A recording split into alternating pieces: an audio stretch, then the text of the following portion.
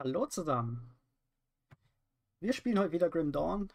Ich habe mir keinen lustigen Opener überlegt oder sowas. Ähm, ich sollte vielleicht echt mal dran arbeiten, irgendeine Art von Begrüßung oder sowas äh, auch am Anfang zusammen zu sagen. Nicht nur ja, hm, hallo zusammen.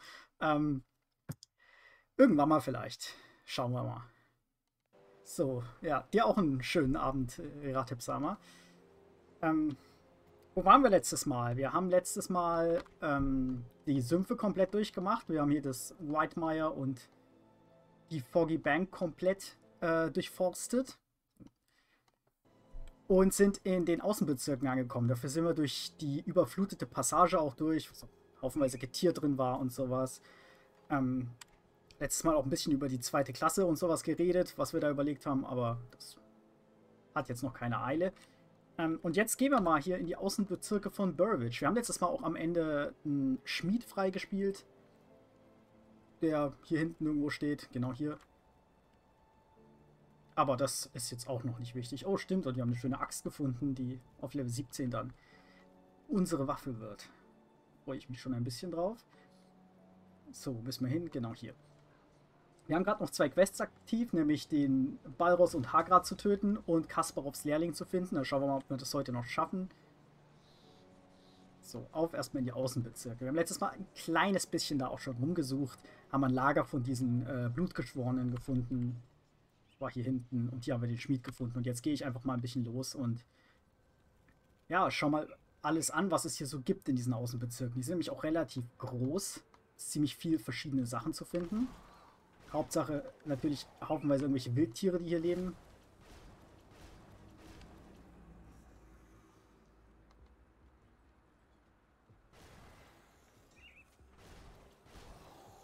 Dann wieder reinzukommen.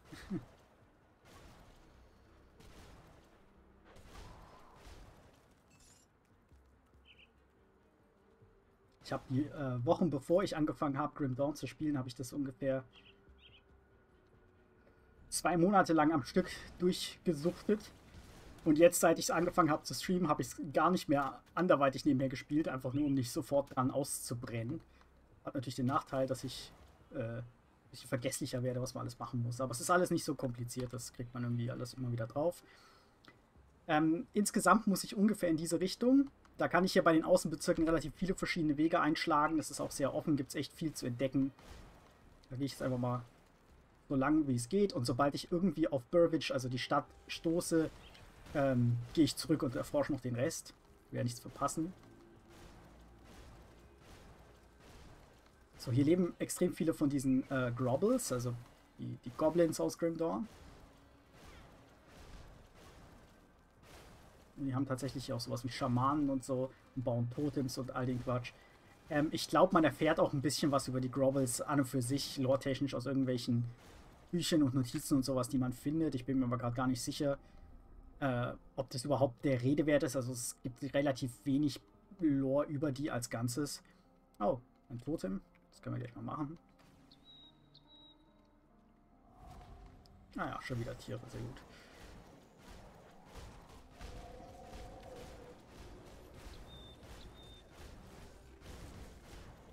Uiuiui.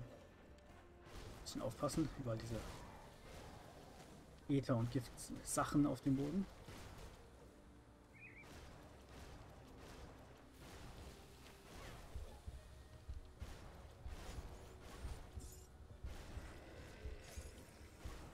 Ja, Helm. Der könnte doch was sein. Gardistenhelm klingt doch schon mal gut. Was ist denn mit dem los? Hat ja gar keinen Schaden.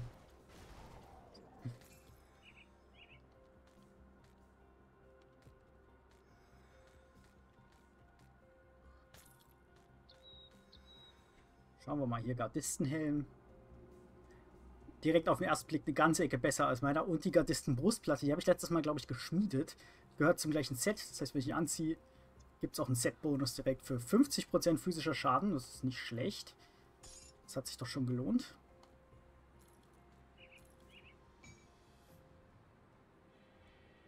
Hm. Was mache ich denn eigentlich immer auf die Teile drauf? Schädigte Klaue. Ah, hier lebt noch was. Direkt noch was Blaues gefunden und ein Level up gehabt. Jetzt kann ich diese Axt hier anziehen. Cool. Sieht cool aus. Okay, noch eine Zweihand-Axt, aber die ist tatsächlich schlechter als meine. Größtenteils, äh, weil sie eben Blitzschaden verursacht und wir eigentlich überhaupt keinen Bonus auf Blitzschaden haben. Dafür gibt die hier auch äh, zusätzlich plus 4 auf Kraftwelle. Das lohnt sich natürlich mega für uns. Also ja, der Rest sieht nicht der Rede wert aus. Ich sortiere mal ein bisschen.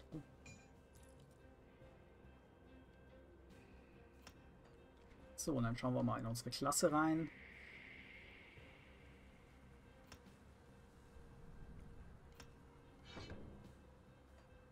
Okay, wenn man hier guckt, ist unsere Kraftwelle jetzt ja schon bei 22 von 16, also schon echt ganz schön hoch. 26 wäre das absolute Maximum, was man erreichen kann. Das heißt, die ist wirklich ordentlich stark. Die ist eigentlich schon auf Endgame-Niveau. Ähm, aber klar, einfach eine Attacke auf Endgame-Niveau heißt natürlich für Endgame auch nichts. Aber schön zu sehen, dass sie wirklich viel Schaden macht. Also sie macht so 2000 bis 2500 Schaden, je nachdem. Bei Gegnern, die ja, 1800 Leben haben, okay. Die Grobbles können eben auch Werkzeuge und so benutzen. Die bauen ja hier auch, man sieht ja auch Totems und so ein Quatsch. Ähm, also das sind nicht einfach nur Tiere, obwohl sie zu den Wildtieren zählen. Wobei Bestien heißt die Fraktion eigentlich. Also alles mit Fell und Klauen und sowas. Sind wohl sehr eins mit der Natur, deswegen arbeiten sie mit den Tieren zusammen. Das ist auch ganz schön. Ich mache sie trotzdem einfach alle kaputt.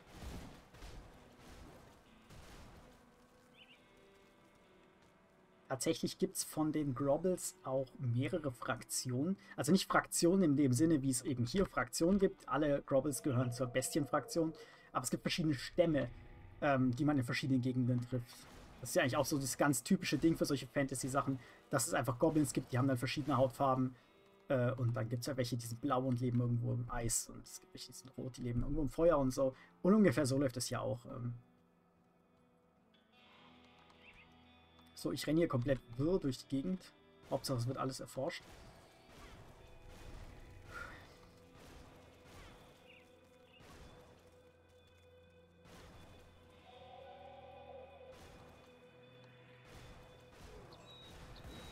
Vergesse die ganze Zeit völlig, dass ich auch meinen Ansturm habe. Irgendwie, aber ist der ja auch echt gut. Aber die, die Kraftwelle ist einfach so praktisch.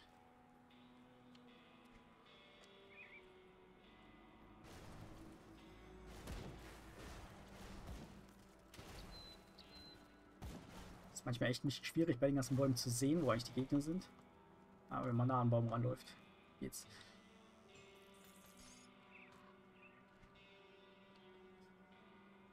Ich bin begeistert, wie hier bei der deutschen Übersetzung auch das Genitiv und sowas eingehalten wird. Des Nekromanten sein Opfermesser.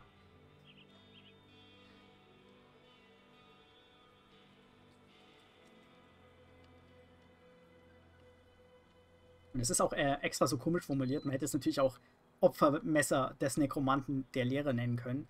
Aber es ist äh, bei Grim Dawn sehr wichtig, dass es äh, Suffixe und Affixe gibt. Also es ist im Opfermesser ist quasi der Gegenstand hier und gibt, vorne dran gibt es Wörter und hinten dran gibt es Wörter, die verschiedene Sachen bedeuten. Und ich glaube, nicht alles, was äh, als Suffix existiert, kann auch als Affix existieren und andersrum. Gibt aber Wörter, die an beiden Stellen stehen können. Und das macht es einem dann teilweise bei der Itemsuche relativ simpel, wenn man weiß, ich suche diesen bestimmten Zweihandhammer, aber äh, ich brauche unbedingt einen, der ausgeglichener äh, imaginärer Hammer des Donners heißt oder so. Und dann brauche ich mir andere überhaupt nicht anzusuchen, weil ich weiß, dass nur diese wirklich die Werte sind, die ich will. Zum Beispiel. Ähm, gibt jetzt auch nicht so viele verschiedene von diesen Wörtern, das äh, geht so. Also klar, gibt für jede Klasse eins und so. Ähm, für jedes Element. Ja, vielleicht doch ein paar. für jede Schadensart.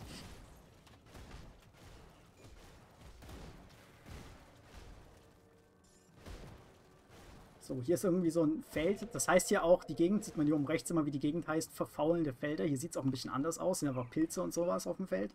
Das gammelt gerade so richtig vor sich hin hier. Ekelhaft. Und man kann auf der Minimap auch schon sehen, da sind so zwei Sterne. Das sind tatsächlich der Balros und der Hagra.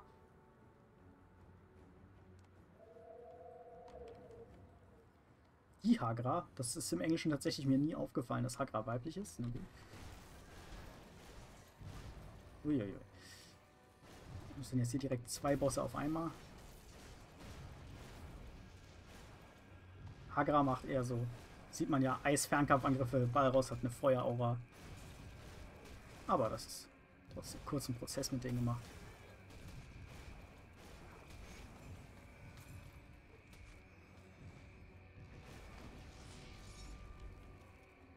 Ich habe keine Ahnung, was da gerade explodiert ist. Wird schon seinen Grund gehabt haben. Und damit ist die Quest auch schon erledigt. Also das war, die waren beide einfach an der gleichen Stelle. Bei der vorherigen Quest von dem äh, Harmond, der hatte uns ja schon eine Quest gegeben, drei andere Zombies da im Whitemire zu töten. Und die waren irgendwo weit verteilt und man musste die erst suchen, aber die beiden waren jetzt einfach direkt an der gleichen Stelle. Sehr praktisch. Ich schaue mal kurz hier ins Haus noch rein. Nicht der Rede wert.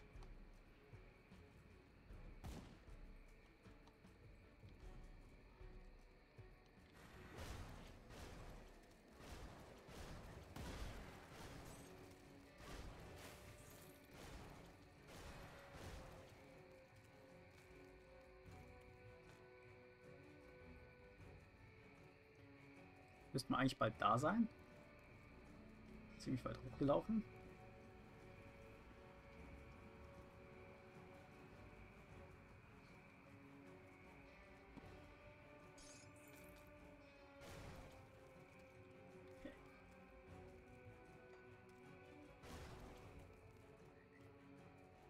So, hier ist eine Falltür mit einer Treppe nach unten und hier kommt schon die Stadtmauer, die Palisade von Burwich. Sieht schon ist ziemlich, äh, ja, es ist verteidigt, aber es ist jetzt nicht so, als wäre da sonst was an Verteidigung. Das Schöne ist, äh, man kann quasi problemlos äh, aus verschiedenen Richtungen nach Burwich reinkommen. Also ich kann auch hier durch die Fallgruppe gehen, da gucke ich auch gleich mal rein. Ähm, ja, meine äh, Attributspunkte packe ich tatsächlich nur in Konstitution. Ähm, ich halte es immer sehr danach, dass ich so viele Punkte in äh, Finesse und Raffinesse und Geist packe, äh, wie ich für meine Ausrüstung brauche, weil manche Gegenstände haben äh, Mindestanforderungen an diese Werte und den Rest komplett immer nur in Konstitution. Ähm, in dem Spiel ist Überleben sehr viel wichtiger als DPS, deswegen mache ich es mir einfach und investiere viele in Lebenspunkte.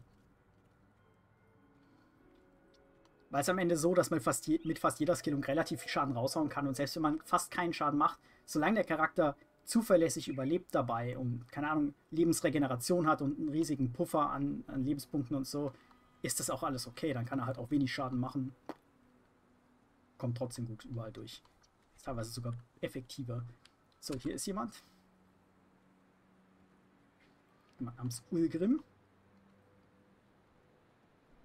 Ich werde verrückt. Eine lebende Person.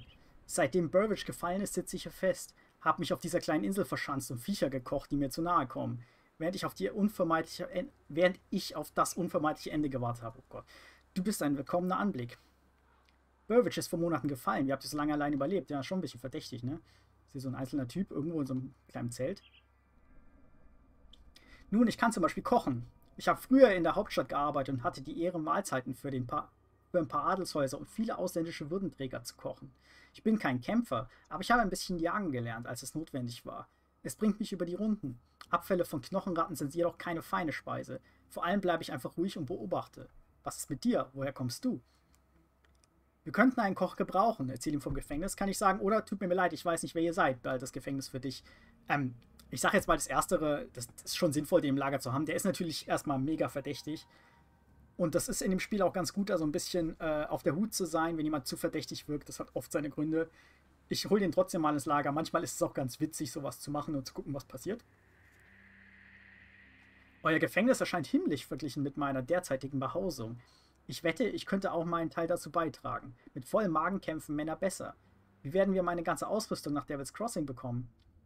So, ich kann ein Riftgate öffnen und euch in Sicherheit bringen und auf geht's. Oh, doch nicht. Ein Portal. Ich habe bisher nur eins davon gesehen. Es hat nicht die guten Jungs rausgespuckt. Ich hoffe wirklich, dass du mich nicht hereinlegen willst. Das klappt doch nie. Ja, doch, tut's. So, und tschüss. So, der ist jetzt äh, auch schön äh, in Davis Crossing. Kann man dann auch mal vorbeikommen gehen und gucken, was er so treibt. Was er so erzählt. Ist ziemlich interessant.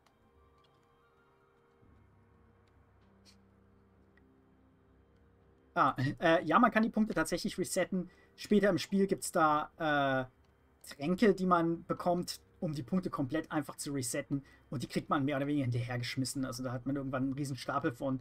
Und so oft resettet man die Punkte nicht. Aber ja, es ist komplett problemlos möglich. So, wo will ich denn eigentlich lang? Ich gehe mal hier in dieses Gebiet unten. Das finde ich so schön dran. Außer der Klassenwahl ist wirklich nichts final, was die Skillungen und so weiter angeht. Man kann alles immer wieder ändern immer wieder ausprobieren, weil klar, äh, bei der riesigen Option an Klassenkombinationen ist es natürlich unglaublich schwierig zu erfassen, was Sinn ergibt und sowas. Ähm, da wäre es sehr gemein, wenn man dann wirklich auch einfach auf dem stecken bleibt, was man sich irgendwann mal ausgesucht hat, als man noch keine Ahnung hatte. Aber prinzipiell kann man eigentlich jede Klassenkombi mehr oder weniger funktional machen. Ob es dann wirklich auch im Hardcore-Modus äh, gegen die Raid-Bosse eine Chance hat, ist natürlich eine ganz andere Nummer, aber das ist ja nicht immer das Endziel bei allen. Muss ich auch sagen, ich mache bei den meisten Charakteren so, ja, ich spiele die halt auf Level 100 und spiele halt mal bis zum Endgame, aber ich mache da nicht zwingend alles an Dungeons oder sowas immer nochmal durch, je nachdem, wie ich halt Lust auf die, äh, mit der Klasse gerade habe, weil dadurch, dass sich jeder mehr oder weniger anders spielt, ähm, merkt man auch, dass man, manche Sachen mehr Spaß machen als andere.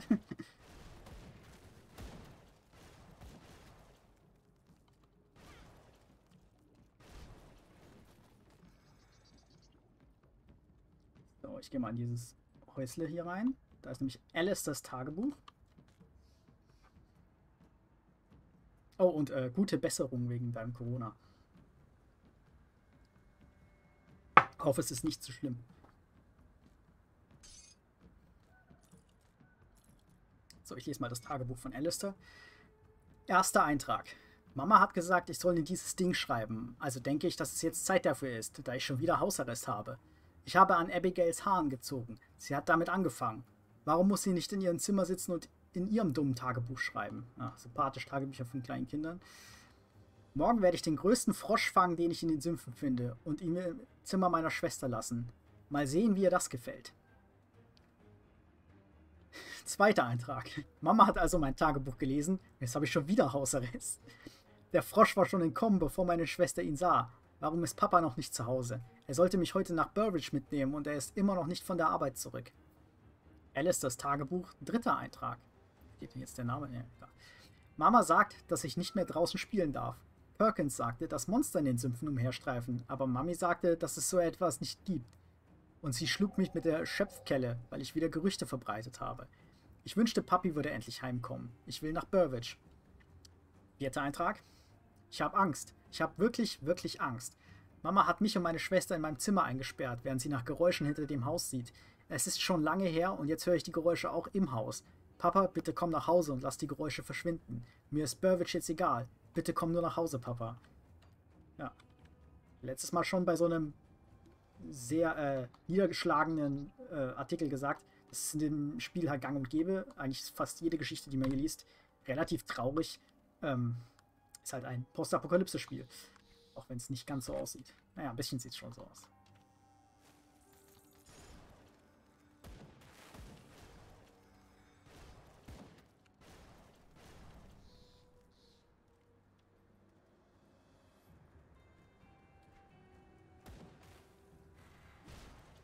So. Gehen wir mal hier hinten lang.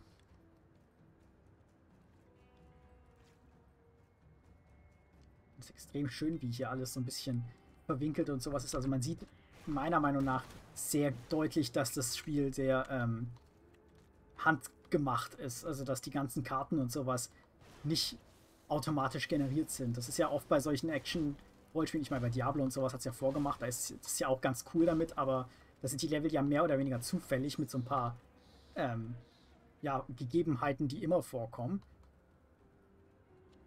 aber es hat halt eine ganz andere Form von äh, Erforschungsmöglichkeit, wenn es alles wirklich kleinsteilig zusammengeklebt ist von den Leuten, die es gemacht haben. Gefällt mir sehr gut.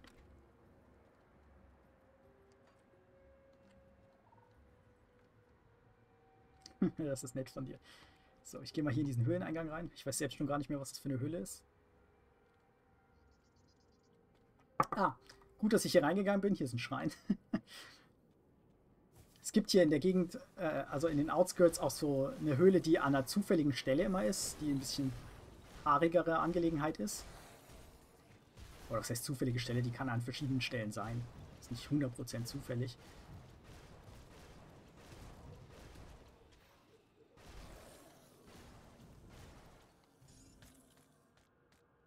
Oh, schon wieder zu viel Loot hier. Ah. Klar, müsste mal was verkaufen gehen. Das mache ich jetzt auch einfach direkt. Zombies warten schon auf mich. So, ah ja, ich kann ja auch die Quest abgeben. Ich verkaufe erstmal hier Krimskrams.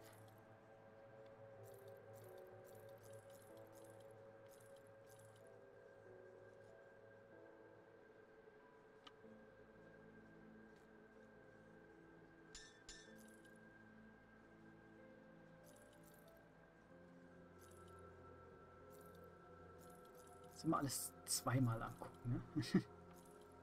Was ist das hier eigentlich? Obsidiansiegel. Oh, das ist nicht schlecht, das hebe ich mal auf.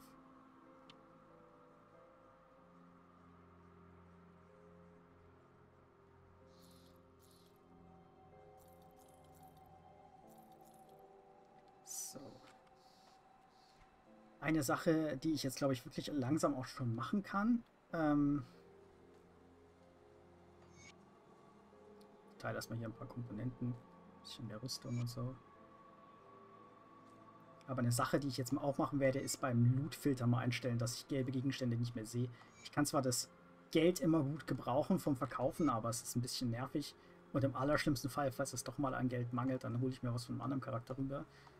Das soll nicht der Schaden sein. So.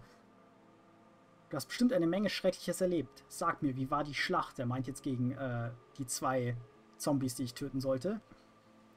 So, Sie war grausam und blutig, genauso wie ich es mag. Es war ein schrecklicher Anblick, ich habe es schnell zu Ende gebracht.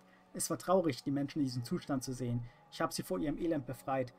Ähm, die Auswahl hier ist komplett egal. Ich glaube, es soll nur ein bisschen dem Char Charakter eben Charakter verleihen. Es gibt ja oft so, dass einfach der, die Antwort nur den Fluff ein bisschen gibt. Ich glaube auch, ich habe nie wirklich genau darauf geachtet. Ich glaube, das ist auch ein bisschen abhängig von den Klassen, was man hier zur Auswahl hat. So, ich hoffe, sie haben gelitten. Keiner hat es verdient, von diesen Monstern auseinandergerissen zu werden. Sind ein paar weniger auf dieser Welt. Danke dir. Hier, nimm dein Eisen. Finde ich ein bisschen komisch, dass der so ist, so, ja, ich hoffe, die haben gelitten, als du sie getötet hast, weil am Ende sind es ja äh, Leute aus, aus Burwich, die zu diesem Monster gemacht wurde. Finde ich ein bisschen grausam zu sagen, oh, ich hoffe, die haben gelitten. So, ich, ich würde persönlich eher hoffen, die wurden schnell von ihrem Leid befreit, aber okay. Ist ja seine Sache, wie er das so findet. Ähm, ah, ich kann jetzt auch mit Ulgrim reden. Hier steht er nämlich und kocht der hier, der war vorher der Koch, der hat irgendwie ganz komische Sachen zubereitet. Und hier Edwin sagt, wo habt ihr denn diesen Typen gefunden? Er würde dir sogar eine Suppe aus Stein kochen und ich glaube, es würde trotzdem verdammt gut schmecken. Steinsuppe, ja, ist sie besser als das, was ihr zubereitet. Wir haben wohl einen Witzbold unter uns. Ja, okay, ich muss gehen. Okay, und Ulgrim steht jetzt auch hier. Der bleibt jetzt hier auch eine ganze Weile eigentlich. Und der erzählt interessante Sachen. Wenn das nicht meine Retterin ist, ich kann dir gar nicht genug danken. Endlich kann ich wieder für andere Leute kochen. Hier, nimm dir etwas Suppe. Könnte etwas Salz vertragen, aber Captain Whisky da drüben besteht darauf, dass es nur für den Kampf genutzt wird. Klar, Salz äh, hält ja auch die bösen Geister ab und sowas. Wir haben ja schon ein paar Mal gesehen, dass irgendwo Salzkreise und sowas ausgestreut sind. Am Eingang hier vom Gefängnis liegen ja auch so zwei dicke Streifen Salz. Ich laufe mal kurz hin hier. Genau, sieht man hier, liegt das Salz aus, um die bösen Geister fernzuhalten. Ob es wirklich hilft, sei jetzt mal dahinter, hingestellt. Ähm, ich weiß es nicht. Ich glaube, es gibt dem Spiel überhaupt keinen Hinweis darauf, ob es hilft oder nicht. Aber es gibt anscheinend viele Leute, die glauben, dass es hilft. Insofern. So, schön, dass ihr euch eingelebt habt. Hey, Level Up dafür, nicht schlecht. Komm jederzeit zurück. Ich habe ein paar alte Geschichten zu erzählen, falls du ein Ohr dafür hast. Und das ist jetzt auch ganz cool. Also, zum einen kann er mir Suppe geben, das ist quasi, wenn meine Konstitution ein bisschen niedriger geworden ist und ich was esse, wird es ja wieder voll. Mit der Suppe kann ich mich da voll heilen. Es ganz ehrlich, habe ich äh, noch nie dafür benutzen müssen. Man findet viel zu viel zu essen, einfach so auf der Reise, aber es geht. Das war ganz cool. Aber er erzählt uns auch ein paar Geschichten. Er hat nämlich schon ziemlich viel erlebt, wie man rausfindet. So, Bist du schon dem Blutschwur begegnet? Das äh, sind wir letztes Mal. Das sind diese Kultisten. Dem fanatischen Kult, der sich den vermeintlichen älteren Gott Cthon hingibt. Den Kult hat es schon immer gegeben. Einige sagen, schon vor der Geschichtsschreibung. Ich dachte immer, dass der Mythos eines älteren, betrogenen und grausam zerstückelten Gottes zu fantastisch war, um Theaterzeug zu sein, aber seit dem Grimm Dawn scheint es, als hätte der Kult neu gefundene Kräfte. Verzweifelte Männer strömen zu, um sich ihm anzuschließen. Spannend.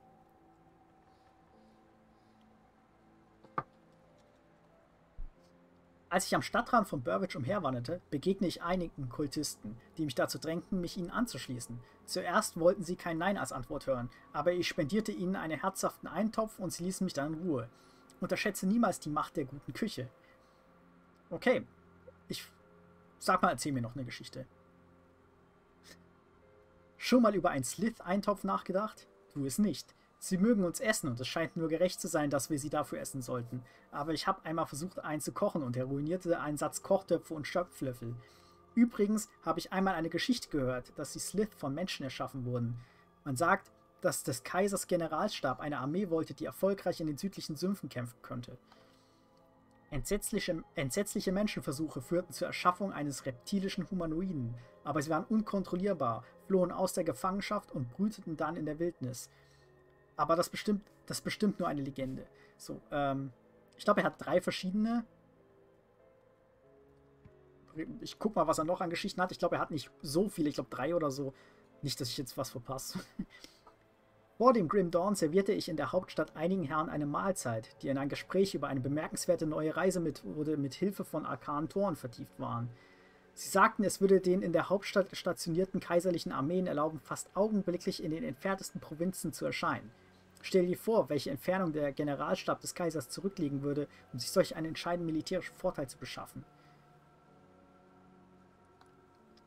Weißt du, wenn ich mich so reden höre, klingt das sehr ähnlich nach dem Portal, das du benutzt hast, um mich aus dem Sumpf zu retten. Ja, das stimmt. Die Portale sind ja tatsächlich eben Canon. Das ist ja nicht in allen Spielen so. Ähm, und es ist wohl wirklich was, was erforscht wurde. So, ich schau mal, ich klicke noch mal ein paar Mal durch, dass ich äh, nicht noch eine vierte Geschichte. Ja, tatsächlich, da ist noch was. Als ich jung war, hatte ich das Pech, bei einem Bankett dabei zu sein, das für fünf Pfadfinder der größeren damaligen Roverbanden veranstaltet wurde. Es sollte ein Friedensangebot sein, aber keiner von ihnen wurde am Leben gelassen. Die Regierung dachte, dass die Rover sich auflösen würden, wenn ihre Anführer einmal tot sind. Aber sie suchten sich einfach neue und gingen weiter. Ich bedauere es, wie sie in der Vergangenheit verfolgt wurden. Es scheint aber, dass Generationen die Wildnis und Nebenstraßen durchstreiften, während die Flucht vor dem Agenten des Reiches sie gut auf die Grim Dawn vorbereitet hat. Sie überstehen es wohl besser als die meisten und sie haben viele Flüchtlinge vom Kaiserreich aufgenommen, das sie einmal gejagt hat.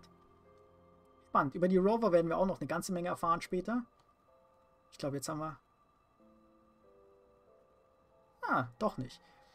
Eine Sache, die mir Sorgen über die Art der Geschehnisse bereitet, die sich während des Grim Dawn ereignet haben. Vor dem Angriff war ich unter der Woche in der Hauptstadt bei der Arbeit und ich erinnere mich, dass dort zwei der drei Legionen scheinbar grundlos in entfernte Provinzen entsandt wurden. Es schien mir sehr merkwürdig, dass sie zu der Zeit die Hauptstadt so ungeschützt lassen. Andererseits bin ich nur ein einfacher Koch. Wer bin ich denn, dass ich die Arbeiten des Militärs anzweifle? Ist natürlich auch äh, sehr verdächtig, dass die Legion, die Schwarze Legion wird sie ja genannt, haben wir schon letztes Mal irgendwo gehört. Ähm, ich weiß gar nicht mehr von wem. Wir haben irgendjemanden getroffen, der erzählt hat, dass er von der Schwarzen Legion ist. Ähm, und ja, die sind quasi die Armee der Hauptstadt und anscheinend wurden die weggeschickt. Das ist natürlich pff, sketchy, würde ich mal sagen. Und ja, Ulgrim ist schon, ob er rumgekommen ist oder nicht, also ja, ist er, aber ich meine, aus seiner Erzählung hier, er versucht es ja immer so zu drehen von, ja, das habe ich in der Hauptstadt gehört. Ähm, ich habe mehr als ein paar Männern und Frauen gedient, deren Ambitionen und Begierde nach Macht ihren gesunden Menschenverstand überstiegen haben. Menschen kommen an ihre Leistungsgrenzen und wenn wir unsere Fähigkeiten übersteigen, führt es unweigerlich zum Unheil. Tut mir leid, das ist ein bisschen schwer für ein Gespräch beim Essen, aber was weiß ich schon, ich bin ja nur ein Koch. Ähm, ja, ich glaube, das waren jetzt wirklich alle. Ich belasse es mal dabei. Also Ulgrim ist schon ein bisschen komisch. Ähm, was der so zu erzählen hat, ist nicht ganz so typisch für einfach nur einen Koch. Ich meine, relativ naheliegend, dass er nicht nur ein Koch ist. Naja. So, gehen wir mal weiter. Was haben wir denn jetzt hier? Weltkommando haben wir freigeschaltet. Oh, da fällt mir was auf. So, Weltkommando ist relativ gut. Da können wir mal einen Punkt äh, rein investieren. Gerade mal kurz hier was fixen. So. Das ist ganz nett. Das ist äh, ein bisschen Angriffsqualität, Verteidigungsqualität erhöht und sowas. Das werde ich später auch wieder höher pushen, aber da ist jetzt erstmal ein Punkt und nicht verkehrt. Und es ist auch ein Buff, das heißt, das kann ich hier auswählen. Und dann klicke ich es einmal an, dann wird tatsächlich Mana reserviert. Das ist wie Buffs funktionieren hier, dass quasi dauerhaft hat man einfach weniger Mana, aber dafür ist der Buff halt aktiv. Ist mir auch jetzt überhaupt noch nie passiert, dass ich Mana-Probleme bekommen habe. Ich habe aber auch noch nie so eine richtige Caster-Klasse gespielt. Oder doch, aber es war ein äh, Nekromant, Okkultist, der dann nur Skelette beschwört hat in einem langen Tag. Und da investiert man halt einmal viel Mana und das war's dann. So, wo waren wir denn eigentlich in irgendeiner Höhle gerade? Stimmt. Ja, wie gesagt, die Zombies warten auf mich. Die stehen hier alle und langweilen sich. So, bitteschön.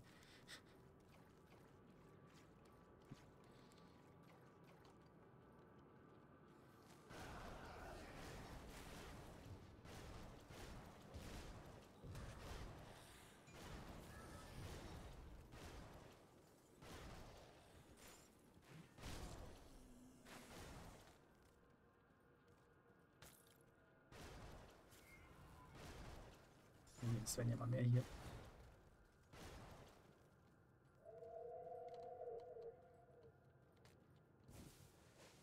Oh.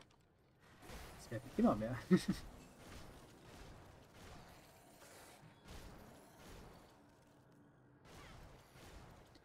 so, hier liegen auch unglaublich viele Särge. Ich meine, es heißt auch die Burial Cave. Das ist äh, ganz seltsam. Halbwegs Übersetzung. ähm, ja, die Begräbnishöhle oder was auch immer. Ähm, ja, scheint hier ein Friedhof zu sein.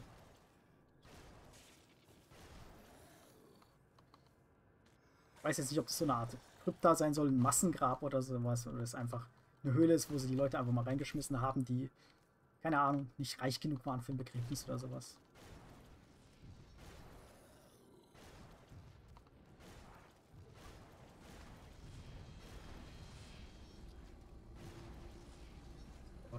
Ganzen Zombies haben tatsächlich, wie man sieht, auch ein bisschen Varianz drin. Da gibt es welche, die werfen auch mal Feuer und so.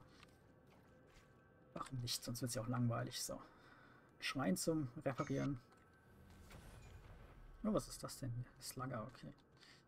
Die Pistole, glaube ich. Ja. So wollte ich hin, genau hier. So, Devotions. Äh, ja, wir können die Fledermaus fertig machen. Ich habe mir Oh, doch, doch noch nicht. Äh, wir brauchen noch einen. Ist gut, ich habe mir nämlich noch nicht genau überlegt, wo ich eigentlich danach hin will. Ich will ja, wie gesagt, eigentlich auf kurz oder lang zur Krake. Brauche ich blau und grün. Und dann nehme ich wahrscheinlich erstmal das Seemannslicht. Eine Sache, die mir persönlich extrem gefällt, äh, es gibt natürlich auch ein bisschen Grim Dawn Merch. Ich habe bisher nichts Offizielles mir angeschaut. Ich finde tatsächlich auch ein bisschen peinlich, dann einfach ein großes so, dass das Frontcover von Grim Dawn auf dem T-Shirt zu haben oder irgend so ein Spaß. Ähm, es gibt aber tatsächlich sehr viele im Internet einfach T-Shirts. Oh. Ich muss kurz die Gegner töten. T-Shirts, die einfach die Sternbilder von den äh, Devotions drauf haben. Äh, das finde ich tatsächlich sehr witzig. Habe ich auch bei meinem äh, Idle-Bildschirm im Moment beim Stream immer, dass da dieser Isopod-Sternbild ist. Aber die gibt es eben auch alle. Das kann ich sehr empfehlen, finde ich sehr witzig, weil es ist für meinen Geschmack subtil genug als Merch, dass es nicht sofort auffällt, was es sein soll. Beziehungsweise, dass es wahrscheinlich selbst Leuten, die Grim Dawn suchten, nicht unbedingt auffällt. Ich verkaufe aber keine davon, also ist jetzt hier kein, kein Ad-Read oder sowas.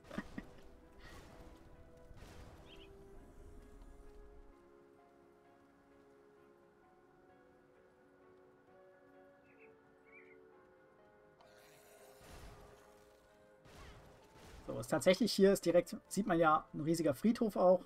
Offensichtlich von Burwich der Friedhof. Das heißt, es ergibt total Sinn, dass hier diese Höhle, äh, diese Burial Cave direkt drunter ist. Ist alles immer so ein bisschen durchdacht. so, geht's hier noch lang?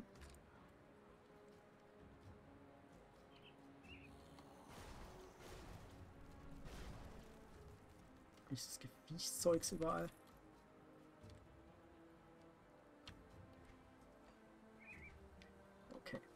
Burwich ist wie gesagt hier oben. Äh, hier ist aber noch eine ganze Ecke Gebiet. Muss ich auch noch mal.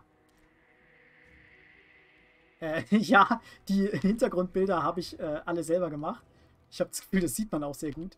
Ähm, ich gebe mir auch extra nicht unglaublich viel Mühe. Also klar, ich will schon, dass es gut aussieht, aber ich finde es tatsächlich sehr lustig, dass das meiste dann diese crappige MS Paint Art aussieht.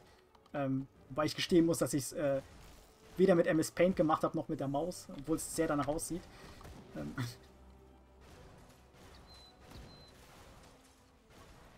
Ich mag es einfach sehr, dass es so trashy alles aussieht. Kann, äh, kann ich jetzt natürlich leicht reden, kann natürlich auch sein, ich kann es nicht. Das werden, werden wir nie erfahren.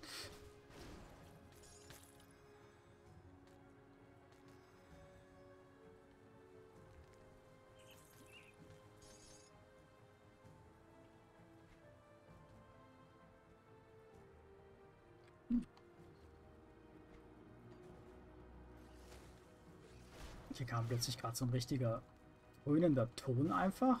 Also das kam aus dem Spiel, als sollte es irgendwie Ambiente ansagen, aber ich habe jetzt nicht ganz gerafft, warum. Hier war überhaupt nichts. Kann mich auch nicht erinnern, das schon mal erlebt zu haben. Vielleicht ist mir nur nie aufgefallen.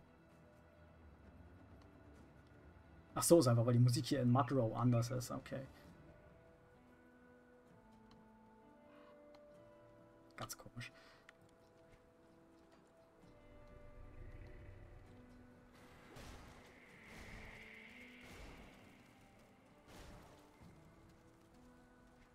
Soll wahrscheinlich einfach nur vermitteln, dass es hier ein bisschen gefährlicher wird, was zwar, würde ich jetzt nicht behaupten, dass es stimmt, äh, aber irgendwie wirkt es wilder und gefährlicher, dadurch, dass die Musik ein bisschen bedrohlicher ist. Dankeschön.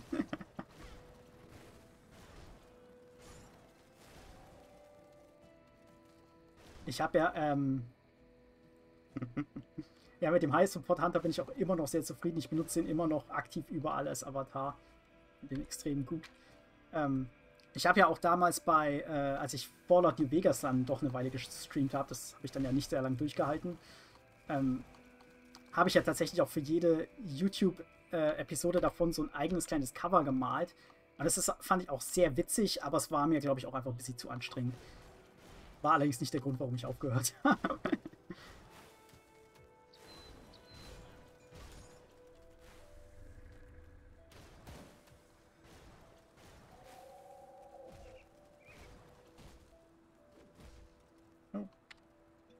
Tatsächlich mein Mana leer bekommen. Ha, ich drauf geachtet. Ups. Und dabei habe ich noch groß Regen geschwungen, dass mir das noch nie passiert ist. Das Schöne ist aber, falls das Mana leer ist, äh, habe ich immer noch meinen Autoangriff und das ist als Krieger, mit ne, als Soldat mit einer Zweihandwaffe natürlich trotzdem noch sehr gut.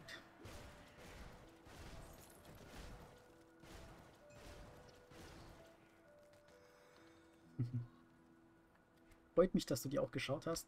Ich muss sagen, Fallout war die längste Zeit wirklich absolut mein Spiel. Also ich glaube, bis Bloodborne war das mein absoluter Favorit, aber es ist halt, fand ich zum Streamen auch nicht unbedingt so geeignet. Das ist sehr groß, sehr offen. Es gewinnt mehr dadurch, dass man so sein eigenes Pacing drin hat und einfach mal in Ruhe alles anguckt.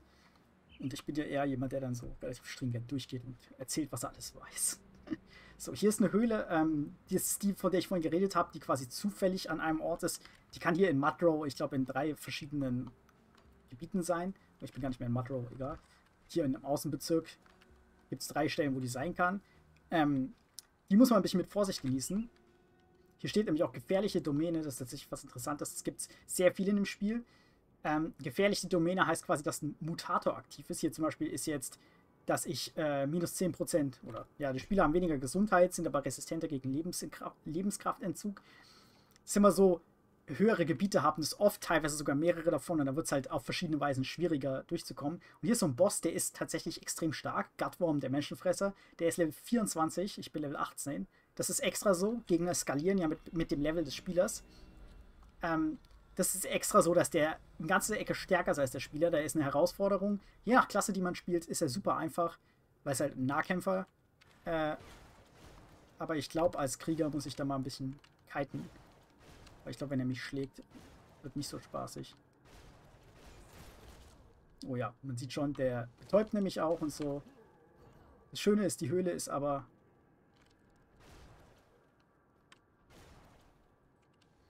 äh, in einem Kreis gebaut. Das heißt, man kann ihn auch oh, äh, kiten, aber er hat ein Netz.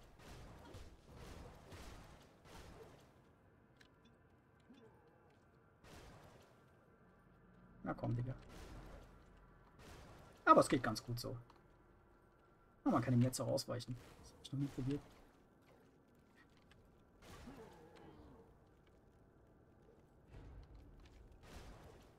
Schön ist, dass die Kraftwelle ja teilweise auch eine Chance auf Betäubung hat.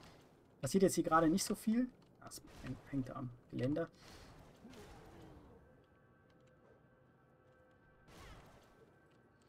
Also mit einer Fernkampfklasse ist der ganz gut machbar. Gerade auch, weil seine Angriffe, wie man sieht, extrem langsam sind. Das heißt, er holt aus. Bis dahin ist man halt schon wieder weggelaufen. Also ich bin gerade verlangsamt und trotzdem komme ich weg, bevor er mich überhaupt treffen kann. Oh. Ja, darf ich aber gut reden, ne? Äh, ja, du kannst tatsächlich später wiederkommen, wenn du sein Level aufgeholt hast. Die Sache ist aber ein bisschen die, ähm, also alle Gebiete und so weiter skalieren mit deinem Level mit, aber die haben meistens ein Maximallevel, bis wohin die skalieren können. Das heißt, allein schon hier auf dem ersten Spielverlauf, wenn du halt noch nicht auf äh, Elite oder ich weiß gar nicht, wie es höchst heißt, Champion oder sowas spielst, ähm, da geht das Maximallevel meistens bis so ungefähr 75 oder so von den Gegnern. Ich bin mir gar nicht so sicher. Ähm, in Anfangsgebieten ist das, ist das Maximallevel auch niedriger. Das heißt, der hat tatsächlich auch ein Maximallevel. Wahrscheinlich so 50 oder sowas. Aber die Sache ist, wenn du dann auf Level 50 zurückkommst und den umhaust, äh, dann lohnt sich der Loot von dem natürlich nicht mehr unbedingt so sehr. Ich finde es sehr, also in dem Spiel sehr so, ja, man kann Sachen auch aufsparen für später. Ich halte es dann immer sehr so, wenn ich merke, ich schaffe den nicht, dann lasse ich ihn halt einfach und mache ihn halt einfach nicht. Also, sehe ich jetzt auch keine Schande drin. Kann natürlich sein, ähm, das Spiel hat sehr viel äh, ähm, sehr viel so, genau, hier sieht man es, Items, die von bestimmten Bossen sind. Hier das Ding heißt solche mächtige Gutworms Auszeichnung der Meditation. Der Typ hieß Gutworm. Das äh, kann nur er droppen. Und es hat eigentlich fast jeder besondere Named-Gegner, der in der Welt rumsteht, der nicht halt irgendwie zufällig generiert ist oder so, hat äh, irgendwelche solchen einzigartigen Items, die kann man dann halt natürlich auch gezielt farmen. Und manchmal will man halt ein bestimmtes davon. Ähm, der hat jetzt hier nur Fähigkeiten für Soldat und äh, Nachtklinge. Heißt das Nachtklinge? Schattenklinge. Nah dran. Ähm, das heißt, wenn ich eine Kombi aus den beiden Klassen spiele, kann es natürlich sein, dass es sinnvoll ist, den zu farmen. So. Hier ist so eine goldene Truhe. Hey, noch ein Massaker. das gleiche Axt nochmal. Ähm, diese goldenen Truhen sind auch besonders, die kann man eigentlich immer nur einmal aufmachen pro Schwierigkeitsgrad. Das heißt, es gibt auch Leute, die sagen, ich hebe alle von diesen goldenen Truhen auf, bis ich dann Level 100 bin und laufe ich durch, mache die alle auf wäre mir zu viel Arbeit. Das ist bei weitem nicht der beste Loot im Spiel aus diesen Truhen. Da gibt es sehr viel effektivere Methoden zu farmen, wenn man mal Level 100 ist. Deswegen mache ich die mal sofort auf.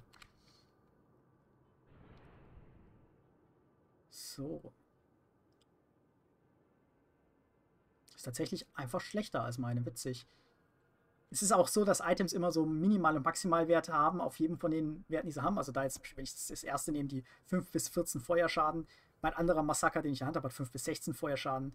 Die haben ja Minimal-, Maximalwerte und manchmal hat man einfach bessere und schlechtere Varianten vom gleichen Item. Ich habe selbst immer sehr so das Gefühl, es müsste doch eigentlich so sein, dass jedes Item gleich gut ist, aber verschiedene Wehrpunkte hat, aber ist, ist einfach nicht so. Ähm, manchmal hat man Glück.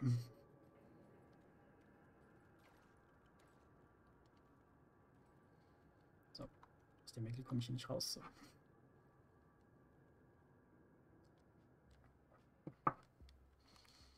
So, weiter geht's. So viel zu dem. Kleiner Miniboss, der nicht weiter wichtig ist. Ähm, der spannende Teil an Gutworm ist natürlich so ein bisschen, wer ist das überhaupt? Es gibt keinerlei Lore über den. Aber er ist offensichtlich ein sehr großer Typ gewesen. Ähm, in die Richtung Ork geht der. Es gibt sowas wie Orks, die gehören auch zu den Grobals, die heißen auch nicht Orks. Ich weiß auch nicht, ob das einfach größere Grobals sind, die gewachsen sind, oder ob das eine eigene, eine eigene Spezies irgendwie ist. Ähm, Davon trifft man später dann aber noch eine ganze Ecke mehr.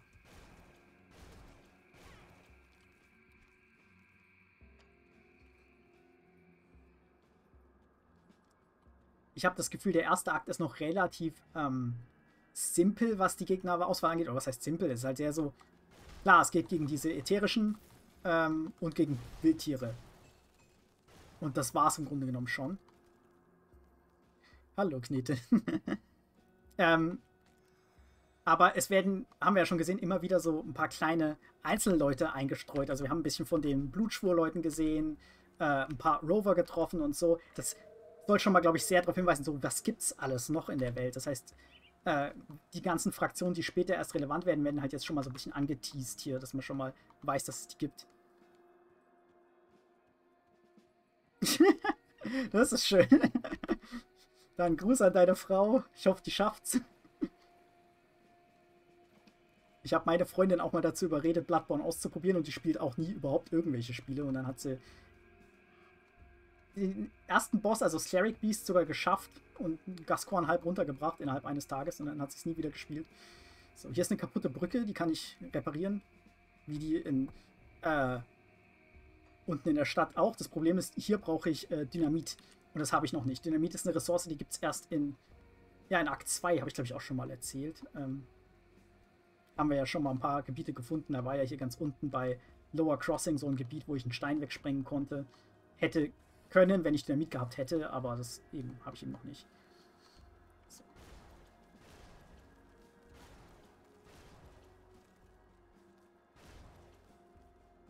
So. jetzt kommen wir hier langsam Richtung Stadt.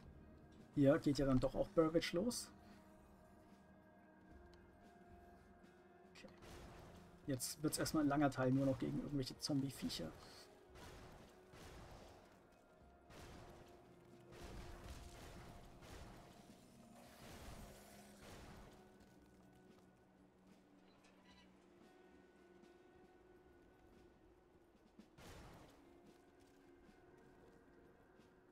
So, hier sieht es nicht so schön aus.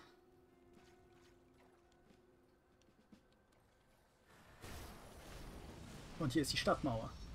Ui. Diese Feuerzombies explodieren ja, wenn man sie tötet. Das ist da vorhin explodiert, als ich nicht verstanden habe, was los ist.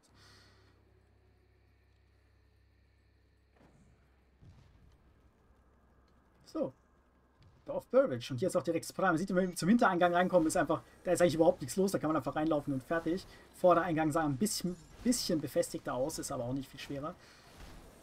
Ist halt vor allen Dingen ein kürzerer Weg, wenn man einfach zum Vordereingang reingeht.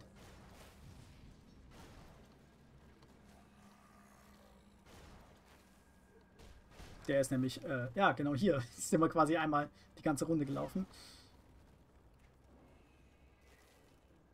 Hm. So, war es das, oder? Nee. Der war ganz schön laut gerade. Ich weiß nicht genau warum. So. Jetzt war es das aber. Jetzt können wir das Portal benutzen. Ähm, John Bourbon hatte ja gesagt, ich soll versuchen, das Portal hier, das Riftgate, zu sichern. Ist ja jetzt passiert. Jetzt kann ich theoretisch für die Quest wieder zurückgehen. Ich kann mich erstmal ein bisschen umgucken. Was ist denn hier? Was mit Ananas? Boarding House. Süß.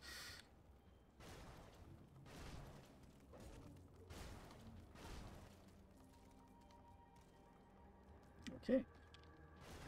Vergesse immer, dass man Regale kaputt machen kann. Und in Regalen kann man teilweise auch Lore Notes finden zu was für Leute im Burwich, äh, nicht im Burwich, im, in dem Prison hier in Devil's Crossing festgehalten werden.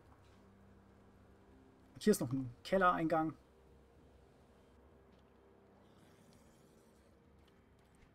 Kann man auch mal reingehen. Das ist quasi auch nochmal ein alternativer Weg nach Burwich rein. Also eigentlich hätte ich auch außerhalb von Burbage äh, in diesem einem Haus da bei diesem vergammelten Feld auch reingekonnt äh, und mich dann quasi hier durch den Keller, durch in die Stadt reingeschlichen. Die Sache ist, die Verteidigung der Stadt ist halt absolut nicht schwer zu durchbrechen. Das ist echt eine Handvoll von Zombies. Das heißt, es hat eigentlich überhaupt keinen echten Mehrwert, dass es mehrere Wege in die Stadt reingibt. Das wäre genauso okay, wenn es einfach nur einen Eingang gäbe. Aber das, ich finde, das hat irgendwie Charakter, dass es so ist. Oh, hier geht es gar nicht weiter. Wie immer, durch die bisschen Zufallsblockierung der Wege auf der Karte hat es diesen Weg jetzt hier auch zugemacht.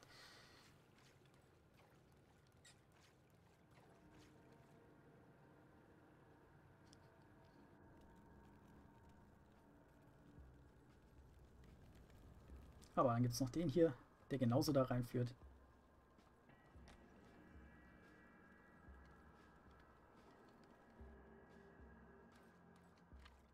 Derselbe Keller. Man sieht hier auch schon, hier war ich gerade.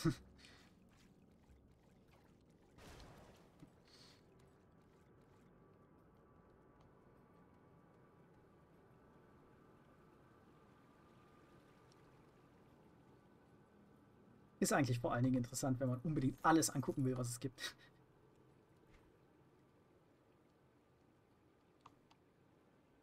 Hm, hier sieht es eigentlich aus, als hätte ich da eine Wand durchbrechen können. Ja, egal. Was soll das schon sein?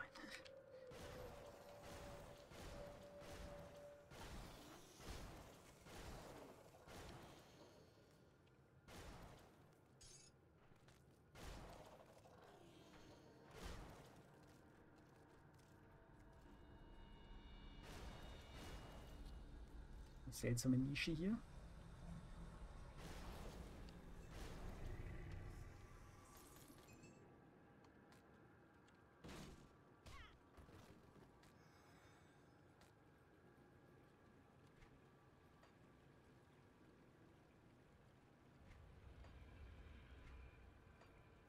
Oh, das ist interessant, was du gerade schreibst, dass die Portale Kreise unter sich haben. Da habe ich nie drauf geachtet.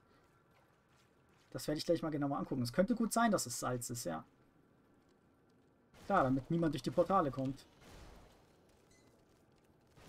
Was wiederum bedeuten würde, dass die offensichtlich äh, nicht, dass das Salz offensichtlich nicht hilft gegen die Viecher, weil die Portale sind theoretisch ja von den Ätherischen erschaffen. Die benutzen die ja eigentlich und ich übernehme die nur irgendwie. Ich weiß nicht genau wie, aber anscheinend kann ich die irgendwie äh, korrumpieren oder sowas, dass sie halt an meinem Portal sind. So, jetzt sind wir schon wieder hier draußen. Ich ein paar Meter teleportiere ich mich jetzt. Tatsache. Ja, das könnte sehr gut Salz sein. Hier sind auch so Runen drauf. Wahrscheinlich soll es das sein. Wahrscheinlich sind, ist Salz für Magie oder sowas entscheidend. Keine Ahnung.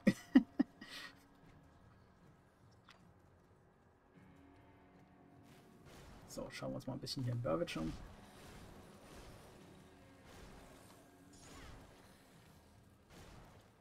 So, hier wird es jetzt auch interessant. Kultistenbefehle. Oh, Konstitution nicht gelevelt. Und wie immer überhaupt nichts gelevelt. Hm.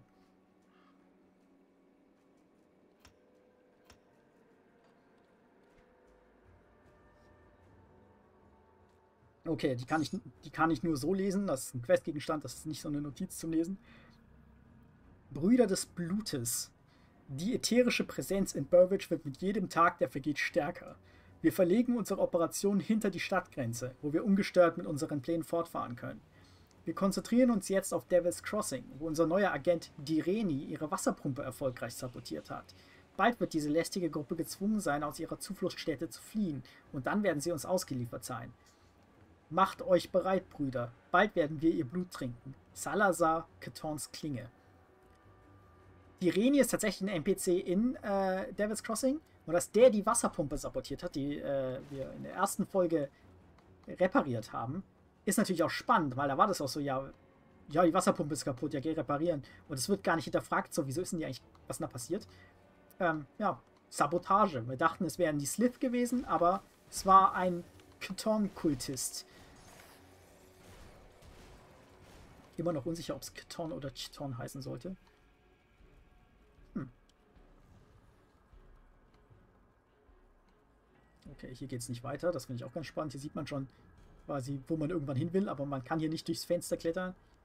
Das war's. Sackgasse. Ist aber auch nochmal ein alternativer Weg in die, in die Stadt rein. Wow. Das ist schön in Szene gesetzt. Hier sieht man auch was. Da sind noch Leute irgendwo hier. Naja, ich gehe mal in die Stadt zurück und guck mal, was der Direni dazu zu sagen hat, dass ich hier jetzt einfach ein Dokument gefunden habe, was ihn als, äh, setze ich überall Salz, äh, was ihn als einen Kultisten ausweist. Ja, der Kult ist auch sehr Lovecraftian. Witzigerweise sind auch die Ätherischen sehr Lovecraftian. Das ganze Spiel ist sehr Lovecraft-artig. Wenn ich drüber nachdenke, ist eigentlich fast jede Fraktion daraus irgendwas mit was, was es irgendwo auch in Lovecraft gibt. Das ist sehr witzig. Sehr viel auch die gleichen Arten von Geschichten hier. So, hier ist er, die Reni. Du machst mir langsam Probleme, verschwinde lieber. Ich habe eine seltsame Notiz in Burwich gefunden. Euer Name wird darin erwähnt. Oh, ich, äh, würde nicht glauben, was da drin steht. Das ist verleumdet. Klar, beste Ausrede. Ähm, ich kann sagen, eure Pläne sind gescheitert und euer Leben verwirkt oder rechtfertigt euch. Ich sag mal das zweite, ich habe kein, keine Lust, ihn zu töten, ist viel witziger, ihn am Leben zu lassen. Ich weiß, es sieht nicht gut für mich aus, aber halte deine Waffe noch einen Moment ruhig. Ja, ich habe die Wasserpumpe sabotiert, aber ich hatte meine Gründe. Weißt du, ich war hier ein Gefangener, als dieser Ort noch ein richtiges Gefängnis war. Als die Welt den Bach runterging, bin ich mit ein paar anderen hier geblieben. Es war der sicherste Ort, an den ich denken konnte. Bourbon dachte eindeutig dasselbe, als er mit den übrigen Überlebenden hier aufkreuzte. Die Sache eskalierte schnell. Ich weiß, dass wir als erstes geschossen haben, aber die waren es, die als letztes schossen. okay, das ist gut, die Schuld auf andere zu schieben. Die Gefangenen, die überlebten, wurden verjagt und freigelassen. Nenn mich einen Feigling, das ist mir egal, aber ich habe mich versteckt, als der Kampf hässlich wurde. Ich tauchte später auf und gab mich als ein weiterer Flüchtling aus, ohne dass es jemand bemerkte. Aber ich werde Bourbon nie verzeihen, was er uns angetan hat. Mir hat die Stelle gefehlt, die erklärt, wieso ihr nicht verdient habt zu sterben. Schon gut, dazu komme ich jetzt. Ketons Kult, ein Haufen Menschen, denen du nicht begegnen willst, besessen durch das Blut gefallener Götter oder vielleicht einfach nur Blut. Sie haben mir ein Angebot gemacht. Ich sabotiere die Wasserpumpe und bekomme dafür ein sicheres Versteck. Zahle es Birbenheim und du findest ein neues Zuhause. Zwei Fliegen mit einer Klappe, wie man so schön sagt. Klang toll, bis ich an einer ihrer geheimen Sitzungen teilgenommen hatte. Ja, das Spiel hat sehr schwarzen Humor. Da habe ich gemerkt, dass ich mich mit den falschen Leuten eingelassen hatte. Und glaube mir, ich habe mich noch nie mit solchen durchgeknallten Individuen eingelassen. Ich bin geflüchtet, bevor sie mit dem ersten Eingeweihten fertig waren. Du wirst gar nicht wissen, was das bedeutet. Ich habe aber einen Schlüssel von ihnen. Das ist der Preis für die Fehler, die ich gemacht habe. Machen wir einen Handel, ja? Du erzählst Bourbon nichts davon und ich gebe dir den Schlüssel zu ihrem Unterschlupf. Dort sollten einige gestohlene Gegenstände zu finden sein, die nur darauf warten, von dir abgeholt zu werden. Aber mach keine Dummheiten. Ich habe den Schlüssel gut versteckt. Ich möchte jetzt äh, keinen Verdacht erregen. Okay, abgemacht. Okay. Sehr schön. Jetzt habe ich den Schlüssel. Ähm, letztes Mal äh, habe ich den Schlüssel tatsächlich als Zufallsdrop von so einem Blutschwur-Typen auch einfach schon gefunden gehabt.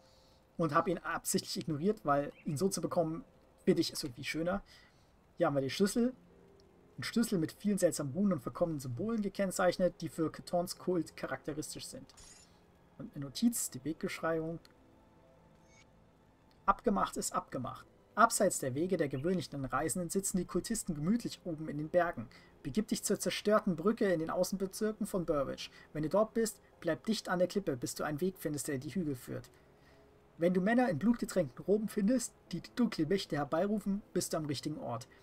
Der Eingang, ist zu ihrem, der Eingang zu ihrem Heiligtum ist hinter dem Lager im Berghang versteckt. Da waren wir sogar schon. So, ich verkaufe mal wieder ein bisschen Kram. Oh ja, ich bin im Ruf bei Davis Crossing auch aufgestiegen. Ich kann jetzt äh, Slithbrute Tinktur äh, kaufen. Um eine Giftbombe quasi und Steinherzöl. Ein ja, Schildblock-Buff. Ich bin nicht so der Mensch, der dauernd irgendwelche Buff-Tränke trinkt äh, in so einem Spiel. Ich heb die mal auf und benutze sie dann nur bei irgendwelchen richtig fetten Bossen. Irgendwann mal, wenn ich merke, ich habe sonst keine Chance. Aber hm man kann es ja alles immer noch mal gebrauchen. Oh ja, ich kann natürlich jetzt auch mal hier mit äh, Bourbon reden. Habe jetzt das Portal gesichert. Hast du in Burwich ein Riftgate gefunden? Wie ist die Situation da draußen? Voller ätherische Korruption, aber das Riftgate ist sicher. Gute Arbeit. Während du fort warst, habe ich ein paar Unterlagen in seinem Büro durchsucht. Ich weiß nicht in wessen Büro, aber wahrscheinlich in diesem hier. Äh, und ich denke, wir haben unser Ziel. Wie du weißt, können Ätherische von einem Mensch Besitz ergreifen und sie gefügig machen. Ich hatte immer einen Verdacht, aber jetzt habe ich nur wenig Zweifel.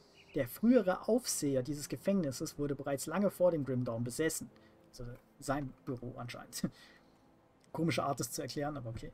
Wie könntet ihr euch da so sicher sein? In den Gefängnisaufzeichnungen gibt es unzählige Lücken.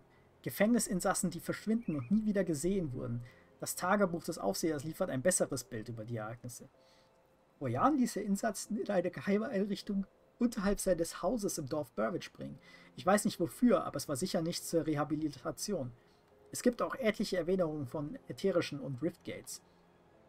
Ich muss diesen Mann finden, oder was auch immer aus ihm geworden ist. Ja, wo kann ich ihn finden? Aufseher Krieg besaß ein Anwesen im nördlichen Bezirk des Dorfes Burwich. Die Aufzeichnungen deuten darauf hin, dass die Einrichtungen über den Keller erreichbar sind. Mehr kann ich dir leider nicht sagen, aber wenn wir die Machtstruktur der Ätherischen in der Region bekämpfen wollen, ist der Aufseher unser oberstes Ziel. Alles klar. Schön, Aufseherkrieg heißt natürlich auch im Englischen Aufseher oder Warden Creek. Äh, ich glaube, einer der wenigen Leute mit einem deutschen, deutsch klingenden Namen in diesem Spiel, was dann in der deutschen Übersetzung direkt extrem komisch wirkt, weil alle anderen haben englische Namen. So, ich schaue hier gerade mal. Ich glaube, es gibt nämlich äh, zwei Hand-Nahkampfwaffen zu bauen. 23 ist das Level. Dass wir das nicht verpassen. Okay, bei legendären brauche ich gar nicht gucken. Ich versuche mich dran zu erinnern, auf 23 äh, einen Hammer zu bauen.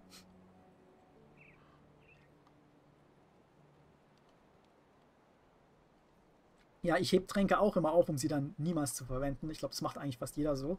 Ähm ich mache es bei Grim Dawn aber sehr gern so, dass ich dann, wenn ich auf einen Boss treffe, der mich komplett umnatzt, denke ich, ah, Moment, es gibt ja noch die Tränke und dann werfe ich mir alle Tränke, muss ich immer erstmal gucken, was gibt es eigentlich für Tränke, welcher bringt da jetzt was und welcher nicht. Ähm, dann werfe ich mir alles ein und werde trotzdem von dem Boss gnadenlos umgenatzt, weil so einen großen Unterschied machen die auch nicht. Äh, nur wenn es knapp ist, dann ist natürlich so ein Trank wirklich eine Änderung. Also ich hätte, glaube ich, auch mit allen Tränken der Welt jetzt den, äh, diesen riesigen äh, Ork in der Höhle nicht einfach so im Nahkampf umhauen können. Den musste ich so oder so kiten. So, genau, hier waren wir letzte Woche schon. Jetzt geht es hier richtig los. Jetzt haben wir einen Schlüssel. Jetzt dürfen wir da rein. Wir haben ja dieses Buch gefunden von dem Salazar, der hier offensichtlich was zu sagen hat.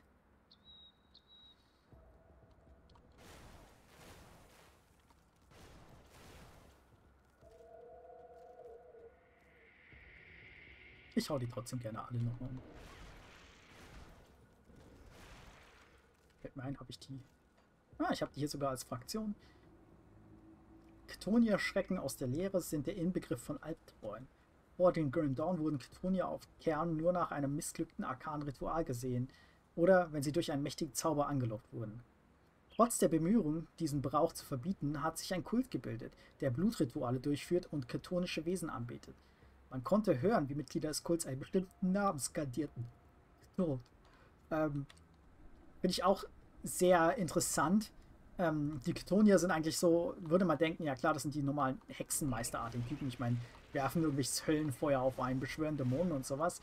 Die Okkultisten, die man selbst als klassisch spielen kann, ähm, sind witzigerweise aber keine äh, Keton-Anhänger. Die folgen einem komplett, einer komplett anderen Gottheit, die nicht weniger äh, okkult und teuflisch ist, aber eine ganz eigene Lore hat, über die äh, man im Grundspiel eigentlich nur echt wenig erfährt. Ähm, tatsächlich wurde aber ein DLC fast komplett diesen, diesen Gottheit gewidmet. Ich kann mal kurz hier die Klassen aufmachen. Der Okkultist. Einst von den kaiserlichen Truppen gejagt, um unheimliche Macht zu kontrollieren, konzentriert sich das Handwerk des Okkultisten auf die Beschwörung und geliehenen Kräfte, die ihm die drei Hexengötter Bismiel, Solail und Dreek gaben. Zu ihren verschiedenen Künsten gehören abscheuliche Flüche und Zauber, die durch Gift und entropische Energie Schaden verursachen. Auch wenn sie sich nicht mit Schwert oder Pistole auszeichnen, können sie beides nutzen, um ihre Angriffe zu verstärken. Also, äh, Okkultisten machen sehr viel mit Gift, mit Chaos, äh, Feuer. Ähm, Chaos ist quasi nochmal was anderes als einfach nur Feuer ähm, mit Dämonen beschwören und sowas. Also die sind da, was das angeht. Aber wie gesagt, äh, die drei Hexengötter sind eben jemand ganz anderes als Keton.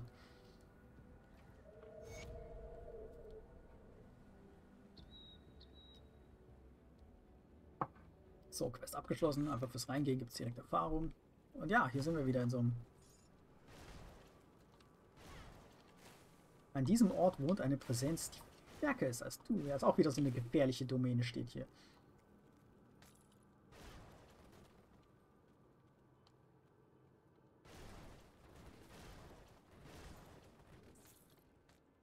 Wir haben ja schon rausgefunden, die sind ja offensichtlich gegen die ätherischen, ähm, oh genau, weil sie Dämonen.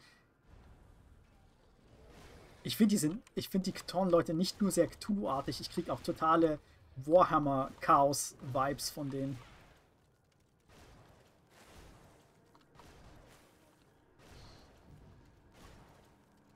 Also die Dämonen sehen sehr aus wie das, was man bei Warhammer immer findet.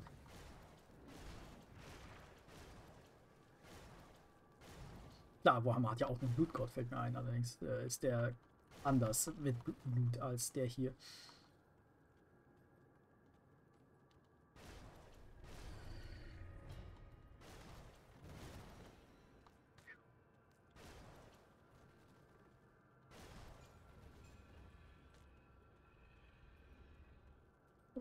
Das sind Regale. Bin dann alles. Die übersehe ich immer ganz leicht. Oh, was ist das für ein Helm? Ah, das ist so ein richtig schöner Schurkenhelm, also äh, Schattenklingehelm, Entschuldigung. Genau, Blut für den Blutgott. Aber ich weiß ehrlich gesagt nicht, was die Lore ist, warum Korn unbedingt Blut will in Warhammer. Aber hier, äh, warum Kton Blut will, wird hier noch relativ deutlich erklärt. Ist tatsächlich eine sehr spannende Angelegenheit, wofür er das braucht. Okay, hier sind so ein paar äh, Vorboten. Das sind so komisch fliegende, riesige Dämonenpriester. Ja, ich finde es immer blöd, dass man sich die Gegner so schwer angucken kann. Ich weiß bis heute nicht, welcher Teil eigentlich das Gesicht ist. Ja. Naja. Finde ich schön, dass es mehr oder weniger ist es ja Zufall, was man für Gegner trifft. Äh, klar, ich treffe hier chtonische Gegner in, einem gewiss, in einer gewissen Level-Range, also jetzt auch nicht sonst was Extremes. Ähm, dadurch äh, waren hier jetzt einfach zwei von diesen Magiern, diesen Vorboten oder wie auch immer dabei. Vor allem, weil ich auf Veteran spiele, sind die halt. Äh, sind die Gegner hier halt auch einfach schwerere Gegner. Das finde ich aber ganz witzig, weil wir in einer Lore Note, wir haben ja in ähm, Whitemire auch eine kleine Höhle gefunden, wo die äh, Blutschwörleute irgendwelche Rituale gemacht haben. Und da hieß es ja in einer Notiz, dass einer von diesen Harbingern, äh, Vorboten, äh, imstande wäre, ganz Burwich zu erobern. Und jetzt habe ich hier gerade zwei davon einfach umgehauen. Und bei alle Fans, sie sind schon hart. Also sie sind schwieriger als der Rest der Gegner hier, aber im Leben könnten die nicht Burwich im Alleingang erobern. Wenn man auf normal spielt und nicht auf Veteran, dann sind davon aber keine hier normalerweise. Das hat. Äh, das ist so ein bisschen der Witz der Sache, dass äh, man den, den ersten Harbinger, den man trifft, also den ersten Vorboten, den man trifft, äh, der ist so ein bisschen äh, aus guten Gründen da, spezifisch, wo man ihn findet. Andererseits war auch beschrieben, dass man für die Beschwörung von so einem Vorboten das Blut dreier Menschen braucht. Und ich glaube, das haben die hier relativ fix zusammengekriegt. Wenn ich mich hier umgucke, was hier alles hängt an Menschen und so. Und dann haben wir ja hier äh, so eine ganze Badewanne voll mit Blut. Ich glaube, das ist mehr als das Blut von drei Menschen, wenn ich das so angucke.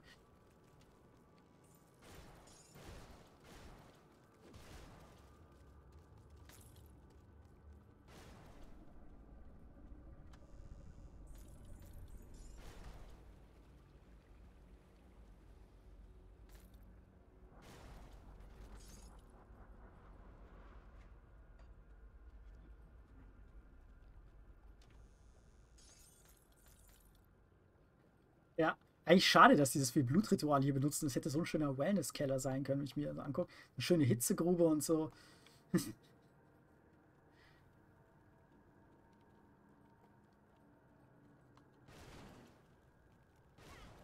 so. Hier ist eine Tür. Ist in dem Spiel auch immer sehr so, wenn irgendwo eine kleine Tür ist, sollte man sich darauf gefasst machen, dass womöglich danach ein Boss kommt, weil die Tür verhindert, dass man einfach wieder rausläuft. So, und da haben wir es hier. Salazars Vorbote und Salazar Thorns Klinge. Das ist der erste Vorbote, den man eigentlich in einem normalen Spiel offiziell treffen würde. Das sollte ja sehr in Szene setzen, so, oh, diese Vorboten, die sind so hart. Und das ist aber eigentlich nur das Pet von dem, von dem eigentlichen Boss. Der eigentliche Boss hier ist der Salazar. Und das ist halt so quasi der Anführer von den lokalen, vom lokalen Blutschwür-Kult. Aufpassen, dass ich nicht immer eh stehen bleibe.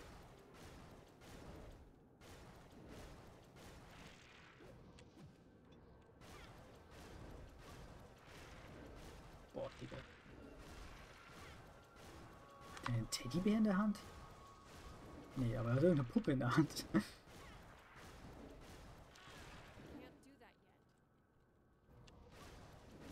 Boah, der hat Leben, ey.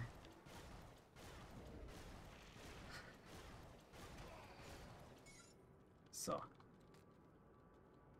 Habe jedenfalls ordentlich äh, Erfahrung. Blödsinn gedroppt. Oh, das ist schön hier.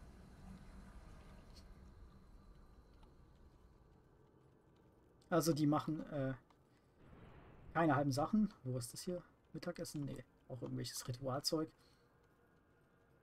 Und hier geht es wieder raus. Und jetzt kann ich mir seine private Wohnung anschauen. immer noch Gegner. Das finde ich stellenweise komisch, ergibt aber auch total Sinn, dass man es ganz oft hat, dass man den Boss besiegt und denkt so, ja, Level geschafft. Und dann kommen aber einfach danach nochmal so ein paar Gegner. Ich meine, klar, warum sollten hier hinten keine von denen rumhängen?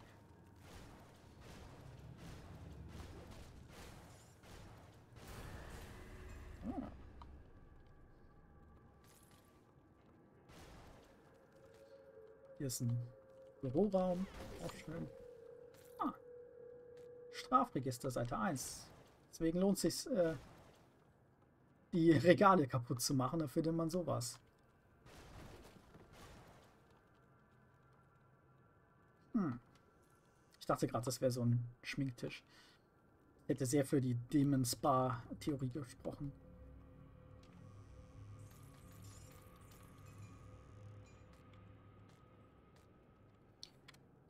So, schauen wir mal. Neurosen.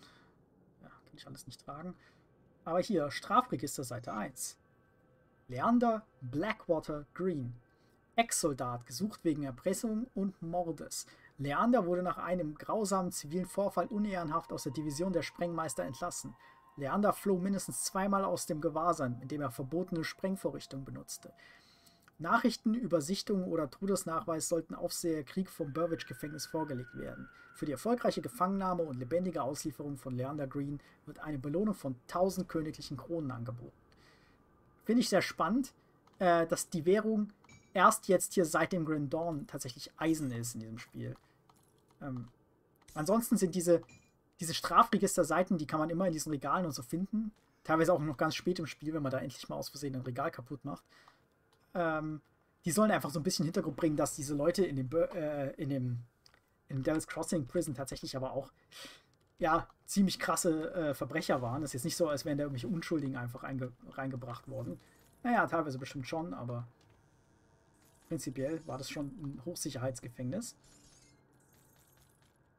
Ähm, was ich sehr witzig finde, das ist mir, fällt mir tatsächlich jetzt auch erst auf, ich habe diese Notiz vor Ewigkeiten mal gelesen und wusste nicht so ganz, was damit anzufangen. Der Name Blackwater wird tatsächlich auch an anderer Stelle erwähnt, nämlich beim Sprengmeister gibt es eine Fähigkeit, die Blackwater Cocktail heißt. Ähm, das sind eigentlich äh, einfach Molotov-Cocktails. Also wir nennen sie Molotov-Cocktails, aber es gibt halt keinen Molotov in Grim Dawn. Blackwater war offensichtlich der Erfinder davon. Das finde ich ganz interessant, dass dann so äh, weil die Fähigkeiten haben oft einfach Namen von irgendwelchen Leuten und es geht dann ganz oft eben auf den Erfinder oder sowas zurück. Gut, also jetzt hier beim Sprengmeister nicht so viele, aber ich meine zum Beispiel beim Arkanisten gibt es davon ziemlich viel. Das Iskandras elementarer Austausch und Erioktes Spiegel und sowas und Kalidors Sturm, Panettis replizierendes Geschoss. Ähm, das ist so, ganz oft sind Fähigkeiten nach irgendwelchen Leuten benannt und es gibt der Lore dann halt auch immer noch mal so ein bisschen so ein ach, das ist der, ja, ich verstehe. Also, ist jetzt nicht sonst viel wichtig. Meistens sind es so ein, zwei Mal irgendwo erwähnt, irgendwelche berühmten Magier. Man findet die dann auch in Itemnamen und so teilweise wieder. Ähm, manches sind äh, einfach Sternbilder, also irgendwie aus den Geboten und sowas. Ich muss gerade mal kurz gucken. Hier gab es doch irgendwo einen.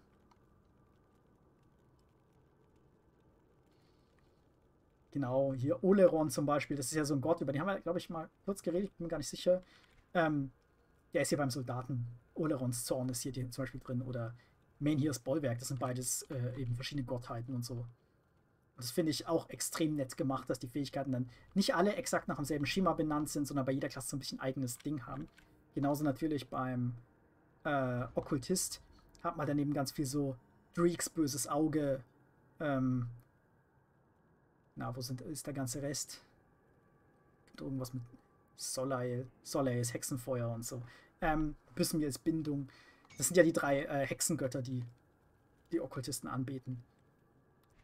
Das finde ich, äh, wie gesagt, einfach sehr schön, dass man ganz oft irgendwelche Namen sieht und dann merkt man so, hey, den habe ich doch schon mal irgendwo gelesen. Ne? Und dann weiß man echt nicht mehr, was es war. Das, das Spiel hört nie auf, einem zurückzugeben, was das angeht.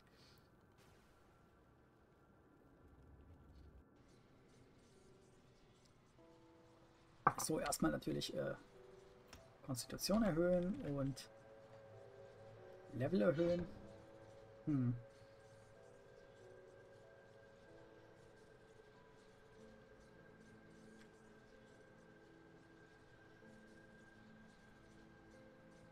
Ich überlege gerade, ob es Sinn hat, noch irgendwo anders was reinzuleveln, aber ich glaube eigentlich gar nicht.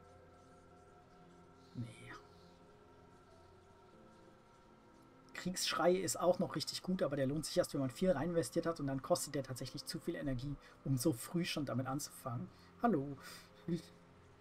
Ich packe erstmal einfach alles in Soldat. So. Ähm, ja, dann kaufe ich mal meinen Kram und wir gehen zurück nach Burbage.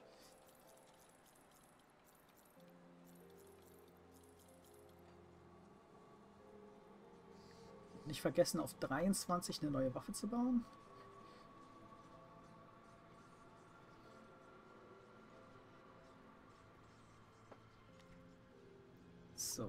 Und dann, hier war ich gerade schon, da geht es ja nicht weiter. Jetzt kann ich hier erstmal den Bereich absuchen. Die Hauptstraße hoch. Ist schon wieder Viecher drin.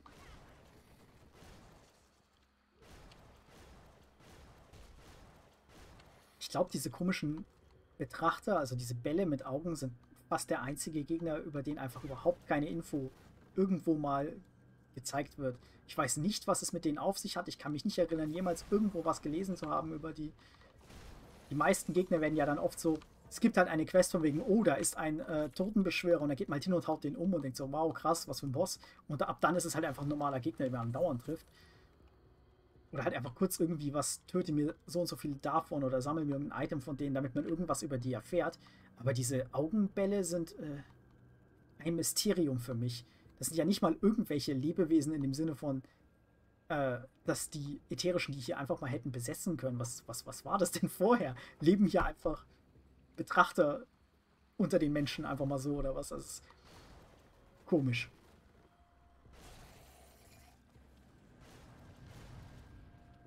Da sollte ich vielleicht mal einen Blick drauf haben. Ha, ha, ha. Oh Gott.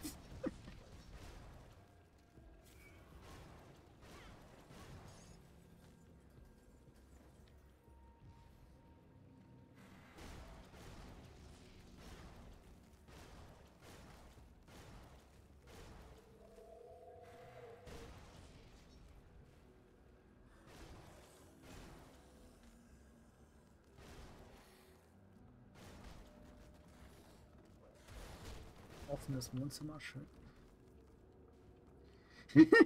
ich glaube, es war auch der erste schreckliche Wortwitz, den ich heute gemacht habe. Sorry.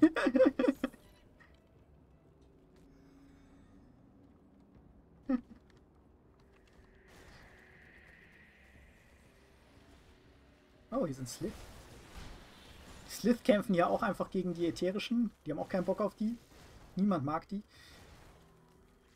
Andererseits mag auch niemand die Slith. Also, ne?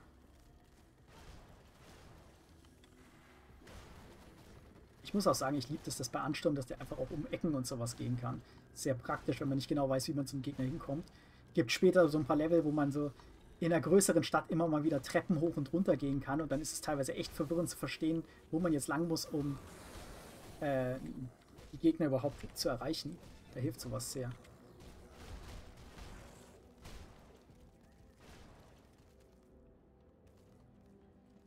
So, hier ist die große Hauptbrücke zur Hauptstadt. Und sie ist frei. Die Brücke ist auch so eine Stelle, wo gerne zufällig Geröll liegt. Äh, und dann kommt man da nicht durch. Hier gibt es noch einen anderen Weg, den werde ich jetzt sowieso auch nehmen, weil immer, wenn die aber alles gesehen haben. Kennt mich ja.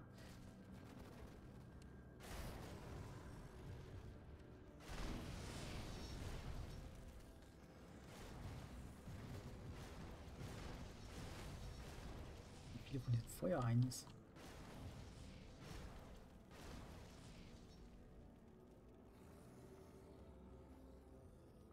Musik ist auch ganz nett hier. So, hier ist eine Falltür. War das eine von denen? Nee.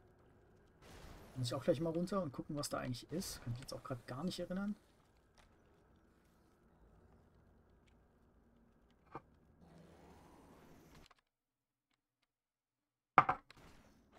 Okay, was soll ich der Keller? Einfach raten.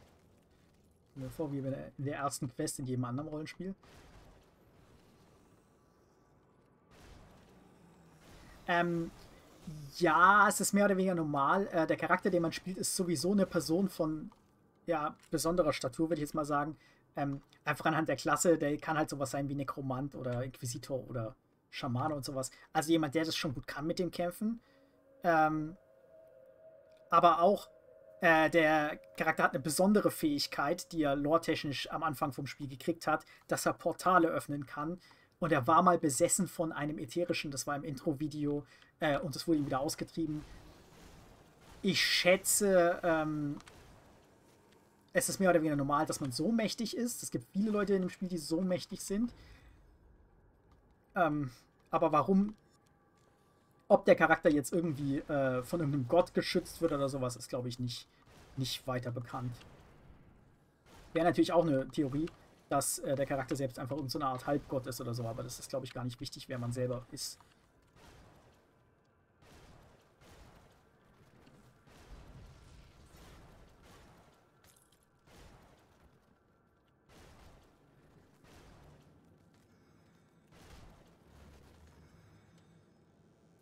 Aber ja, man bringt schon unglaublich viele Leute einfach mal so um. Hey, hier liegt jemand tot in einem Salzkreis. Kaputt machen? Ja. Also entweder ist er einfach irgendwie verhungert oder so, oder es hat tatsächlich nichts genützt. Er hat ja offensichtlich irgendwas gelesen.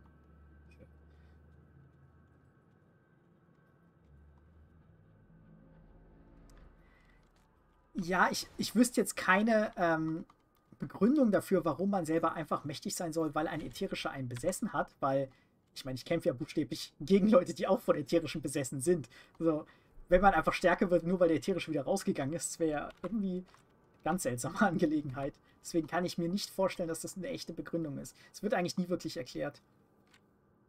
Ich glaube es einfach, dass man von vornherein jemand ist, der ein bisschen herausragender, mächtiger ist, weil man einfach eine besondere Rolle hat. Also weil man halt technisch schon ein erfahrener Soldat ist oder sonst was.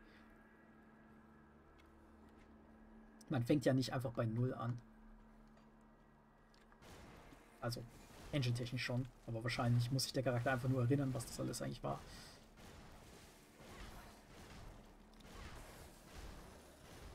Ich kann mir wenig vorstellen, ich meine, es ist eigentlich kein Action-RPG begründet, warum der Charakter nebenher einfach mal neue Fähigkeiten äh, bekommt, aber ich kann mir vorstellen, dass der Charakter, weil er hat ja in der Zeit, wo er besessen war, Gedächtnisverlust erlitten, dass er einfach sich jetzt langsam wieder erinnert, was er eigentlich alles kann.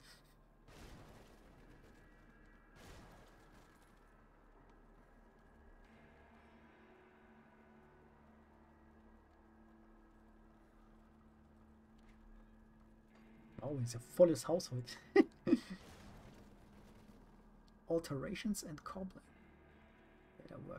Ich bin mir nicht sicher, aber ich glaube, jeder einzelne Laden, den man hier so findet, ist einzigartig. Also ich kann mich nicht erinnern, ein Schild schon mal zweimal gesehen zu haben. Ich gucke die aber auch alle nicht so intensiv an. Kann gut sein, ich es einfach nur noch nicht gesehen habe. Ist noch ein Friedhof. Ganze Menge von. Aber er gibt irgendwie auch Sinn. Das ist ja in den meisten Spielen auch so. Da gibt es ja nie einen großen Friedhof, aber wenn es eine große Stadt ist, dann hast du ja meistens mehrere davon. Ist ja Quatsch, die alle an einem Ort zu sammeln.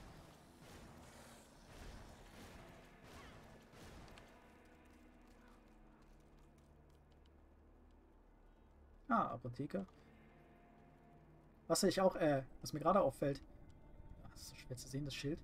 Die Apotheke hat auch die Schlange am Stab als Zeichen. Das ist ja sehr so ein universelles Zeichen für Heilkunst äh, in der westlichen und ein bisschen in den östlichen Gesellschaften bei uns.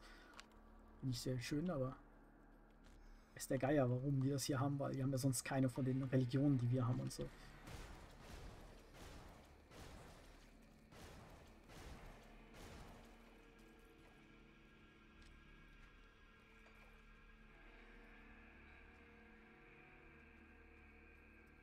Ähm, ich glaube, der Grim Dawn selber ist noch nicht lange her. Das ist eigentlich gerade noch der, der erste Ansturm. Ich glaube, die Gebäude sind so kaputt, weil die alles kaputt gemacht haben, nicht weil es verfallen wäre.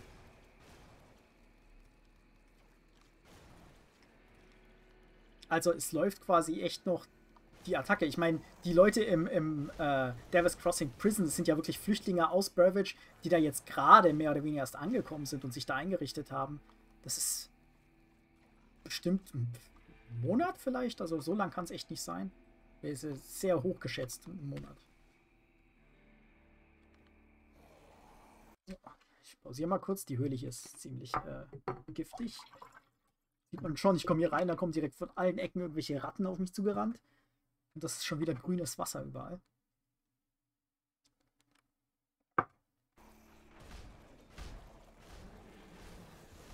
Die Höhle hier war tatsächlich viel Spielverläufen die erste Stelle, wo ich gestorben bin. Das ist mir auch ein großer Boss.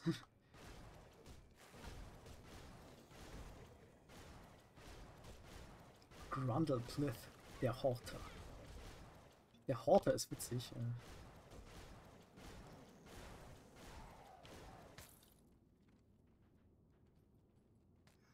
Okay, das war jetzt doch einfacher als erwartet.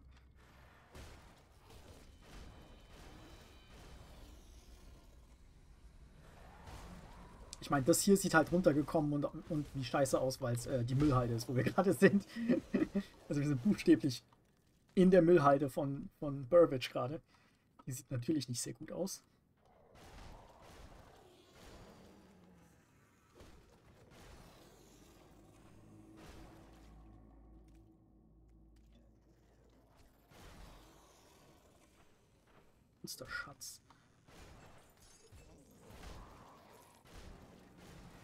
Ist Schatz. Gardistenhammer. Ich befürchte, das ist ein Einhandhammer. Wusste ich. Jetzt nicht so, als würde ich alle Items kennen, aber ich habe mich erinnert, dass wir äh, den Gardistenhelm und die Brustplatte tragen und dass da ein Hammer und ein Schild, also Verteidigersgardisten dazu gehören. Das heißt, es muss ja ein Einhandhammer sein. Schade.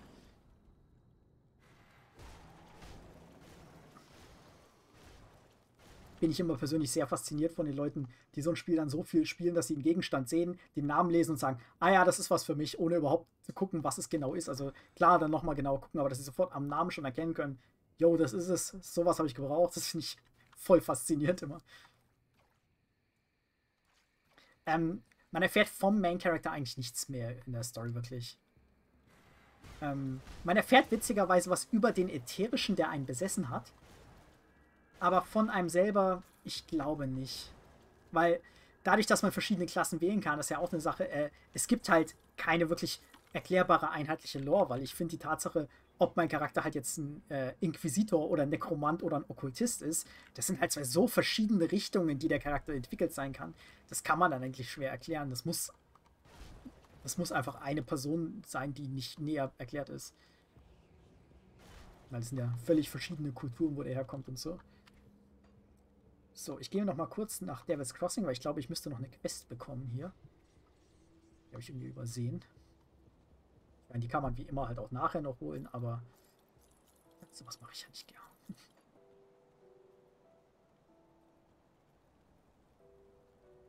Genau, hier oben war die doch irgendwo. Genau hier, bei der Konstanze. Es tut mir leid, falls ich dich vorhin beleidigt habe. Deine Ursprünge waren nur ein bisschen erschreckend. Ah ja, die hatte am Anfang Angst vor uns, weil wir ätherischer sind, waren, besessen waren. Ich habe gehört, dass du dich in den Gefahren jenseits von Laura Crossing stellst. Könntest du mir wohl ein paar Materialien besorgen?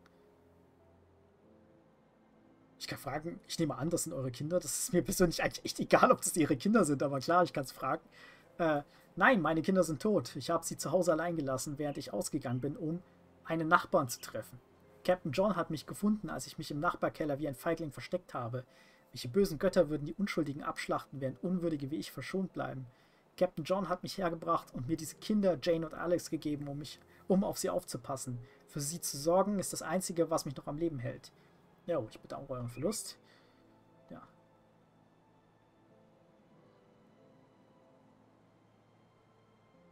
Ähm, die Orte in den Artworks kann man alle noch sehen und bis auf den, den Typ mit dem Hut, also der ist ja dieser, dieser Standard Grimdawn äh, Okkultisten-Guy, das ist, glaube ich, einfach einer von den Blutgeschworenen oder so. Aber die anderen beiden sind tatsächlich auch Charaktere, die vorkommen. Der mit dem Säbel und die Frau mit dem Schädel. So, was brauchst du eigentlich? Weißt du, vor dem Grim Dawn war ich Schneiderin, nichts Besonderes, habe gerade so viel verdient, um über die Runden zu kommen. Aber jetzt sehe ich die Gelegenheit, meinen Beruf zu nutzen, um hier etwas zu bewirken. Ich würde gerne ein paar neue Schutzdächer und vielleicht neue Kleidung nähen, falls noch genug Stoff übrig ist. Alex und Jane verdienen etwas Besseres als das hier. So ist doch hübsch. Ja. Ähm, wenn du bitte jeglichen Stoff einsammelst, den du findest, wären die Leute hier sehr dankbar. Das Hafengebiet in Burridge wäre für den Anfang ein guter Platz, um zu suchen. Hafengebiet ist, wo ich gerade hinkomme, deswegen habe ich die Quest schnell geholt. Wie gesagt, wäre kein Drama. Ich hätte den Stoff auch mitnehmen können, ohne die Quest zu haben und danach mit ihr reden.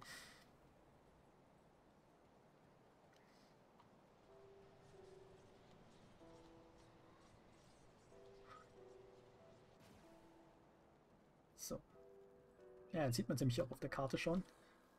So, das erste Stoff.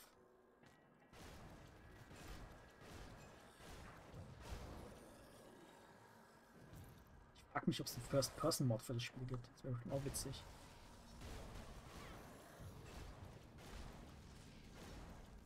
Oder ein VR-Mod.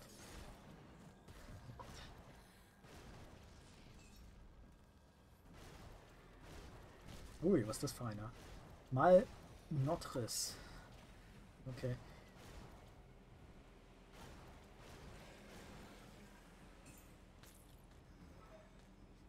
Blitzableiter. Sehr schön. Ja, die Ragdoll-Physik ist genial. Deswegen liebe ich auch den Ansturm so, weil dann die Gegner oft einfach komplett wegfliegen. Also noch mehr als bei der, bei der Welle.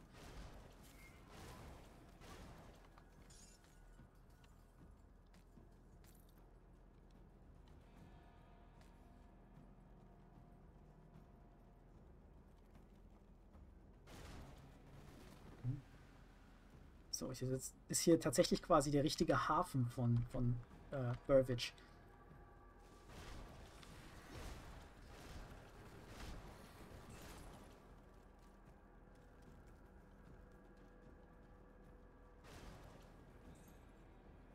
Customs House. Okay.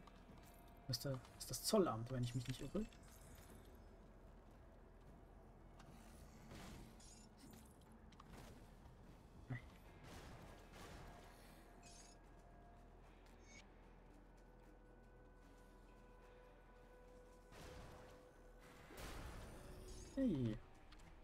Auf geht's.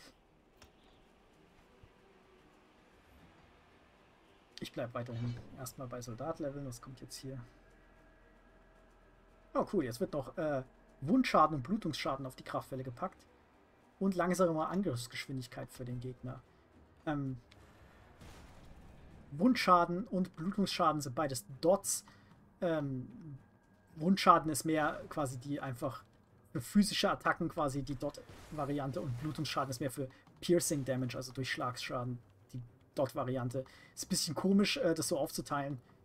Ergibt aber irgendwie Sinn, wenn man überlegt, wie viele verschiedene Schadensarten es gibt. So wie man halt natürlich auch einen einzelnen Dot für Feuer, für Blitz, für Eis und sowas hat. So, hier ist ein blaues Buch, das Logbuch des Hafenmeisters. Ein weiteres Boot mit Dutzenden vermummter Gefangener ist angekommen.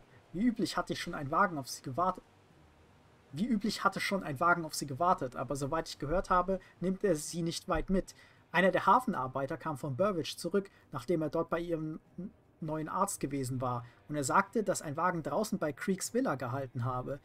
Der Junge fragte nach den Gefangenen, und einer der Betreuer sagte Rehabilitation. Bin mir nicht sicher, was ich davon halten soll. Hm. Es hat über ein Dutzend dieser Gefangenentransporte in ebenso vielen Wochen gegeben. Ich verstehe nur nicht, wie sie alle in die Villa passen. Ist mir egal, wie groß der Ort sein mag. Creek wird unter seinem Dach kein Gefängnis mit nutzlosen Dieben halten. Etwas Seltsames geht dort vor und ich habe kein gutes Gefühl bei der Sache. Werde wohl Malmouth benachrichtigen müssen, damit einer ihrer Inquisitoren hierher kommt und dieses Merk diese Merkwürdigkeit überprüft. Kann aber auch nicht sagen, dass ich einer von diesen Inqu dass ich einen dieser Inquisitoren haben will, der hier herumstochert. Sie beunruhigen einen.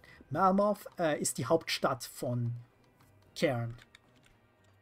Vergesst immer, äh, welcher Name von dem Land ist und welcher von der ganzen Welt ist. Da gibt es nämlich zwei verschiedene.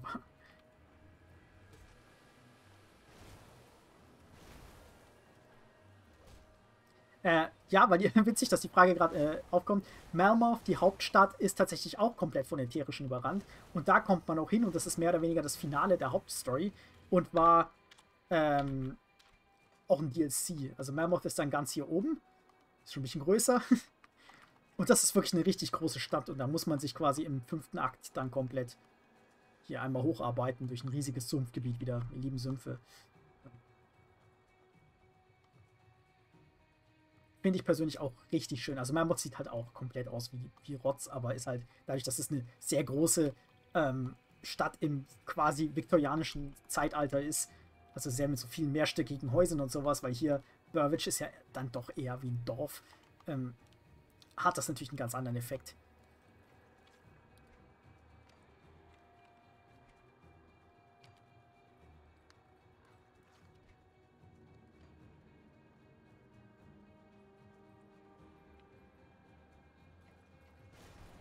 So, sorry, ich habe deine Frage falsch gelesen, ob man in eine Stadt kommt, die nicht von Ätherischen überrannt wurde.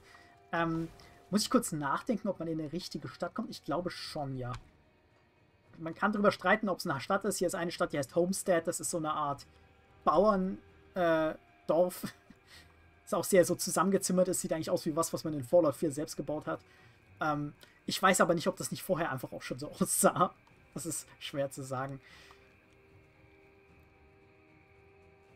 Ich kann aber verraten, ja, man kommt natürlich in Städte, die nicht von ätherischen überrannt wurden, sondern von ketonischen oder von äh, Sumpfgeistern oder sowas. Das gibt's auch.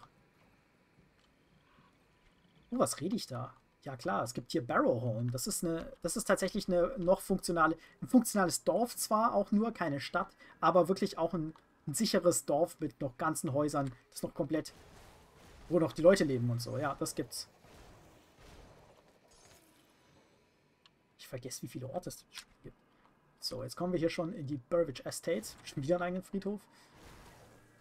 Die Estates sind quasi das äh, edlere Viertel hier. Das ist, wo wir mehr oder weniger hinwollen die ganze Zeit. Hier hat der Creeker seine Villa. Irgendjemand hatte ja auch davon geredet, dass er äh, alles verloren hat und er war imstande, in die Estates zu ziehen, im, im Gefängnis.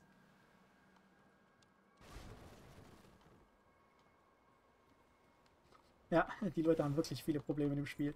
Von allen Seiten kommt irgendwas Neues und sowas. Der Spaß ist das letzte DLC, ähm, das Wüstenbasierte, das ist dann quasi hier in einer komplett eigenen Gegend. Das ist auf der Karte nochmal anders abgezeichnet. Da geht es dann halt auch plötzlich um eine Gefahr, die hier im Hauptspiel überhaupt noch nicht ersichtlich war. Die wurde angeteasert, die ist in der Story komplett verankert, aber es war halt einfach, es ist halt quasi einfach neu. Du kommst da an und plötzlich so, ach, Ach, das ist jetzt auch noch ein Problem geworden. Ah, cool. Also es hört einfach nicht auf. Die Leute kriegen hier keine Pause.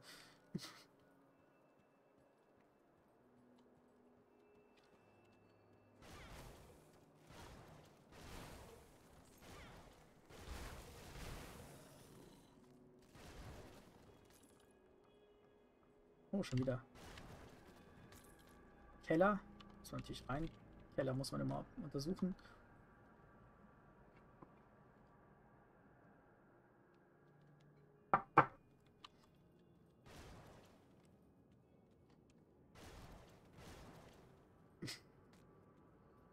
Habe das Gefühl, so ein Action-RPG mit einer fröhlichen Hintergrundgeschichte wäre irgendwie nicht so meins. Vielleicht gibt es das auch, aber ich glaube, da hätte ich nicht so viel Spaß dran, wie bei den betraurigen Hintergrundgeschichten. Vielleicht bin ich irgendwie, keine Ahnung, sadistisch veranlagt oder sowas weiß ich.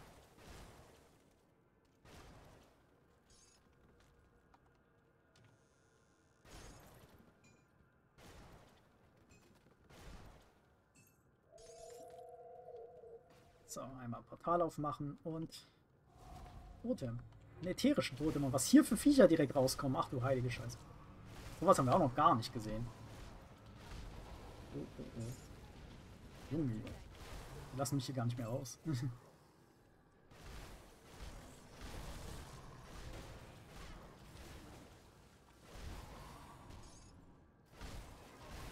Echt übel, die sperren mich hier quasi komplett ein und dann stehe ich die ganze Zeit im Ei von denen.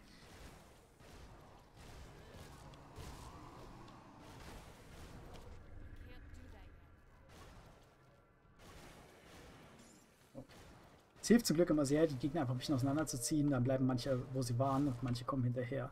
Muss man sich nicht mit allen gleichzeitig umschlagen. Und das war's auch schon.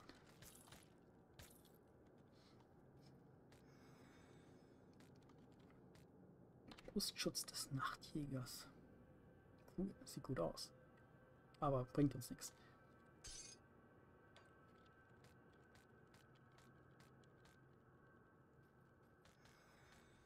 Ja, also ähm, es war tatsächlich vorher ruhiger.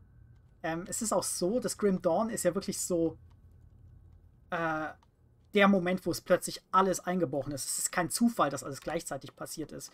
Das Grim Dawn bezeichnet quasi die Invasion von den Ätherischen, aber die Ktonia haben diesen Moment auch als Gelegenheit genutzt, weil die sowieso drauf gelauert haben, irgendwann zuzuschlagen. Und dann war es halt so, ah ja, cool, jetzt sind die Ätherischen da, die können sich offensichtlich nicht leiden. Die Ätherischen fangen an, alle Menschen zu übernehmen ich bin mir nicht sicher, ob die noch wirklich geeignet sind als Opfer für die Ketonier. Das heißt, jetzt mussten die ja quasi auch zuschlagen. Wenn sie gewartet hätten, ob die Ätherischen äh, gewinnen oder nicht, hätte es sein können, dass der Plan von denen nie mehr aufgehen kann.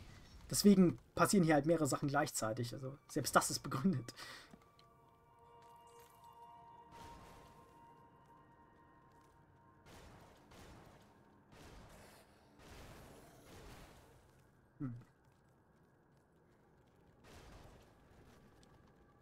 So, raus hier.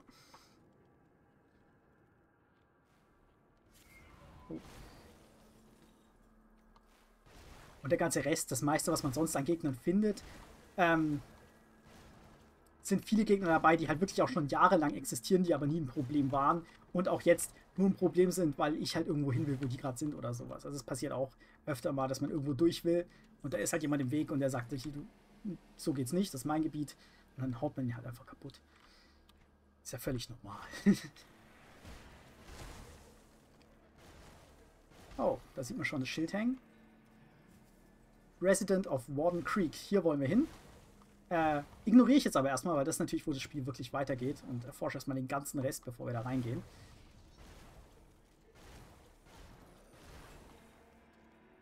Äh, ja, es wird drauf eingegangen, wo die ätherischen herkommen und es wird drauf eingegangen, warum die hier sind und was die hier eigentlich wollen. Das ist auch kein Zufall, dass die hier sind. Ähm, das ist nicht einfach irgendwas, was halt mal eben so passiert. Es ist aber tatsächlich, kann ich direkt aus Spoilern, glaube ich auch nichts, was irgendwie von Mensch gemacht ist oder sowas. Also es ist nicht so, als hätten irgendwelche Menschen irgendwelche Experimente gemacht und dadurch sind die Ätherischen gekommen oder sowas. Oder eher haben die Ätherischen schaffen oder so. Das ist, das ist nicht, was mit denen los ist. Die sind schon eine tatsächlich eigene Fraktion mit eigenen Gedanken und äh, ja, Motivation eben. Ähm, ich bin mir gerade gar nicht so sicher, wie sehr tatsächlich in der Main Story erklärt wird, wer die Ätherischen sind. Oder wa warum die jetzt hier sind. Oder ob es eher so Hintergrundinfos sind. Aber schauen Sie eh versuchterweise mal beides an. Kommen hier viele. So. Erstmal diesen Schrein hier. Und dann geht es in diesen Keller. Der Keller ist schon mit einem Stern markiert. Das lässt schon darauf ahnen, dass irgendwie der wichtig für eine Quest ist. Und so viele Quests haben wir ja nicht mehr.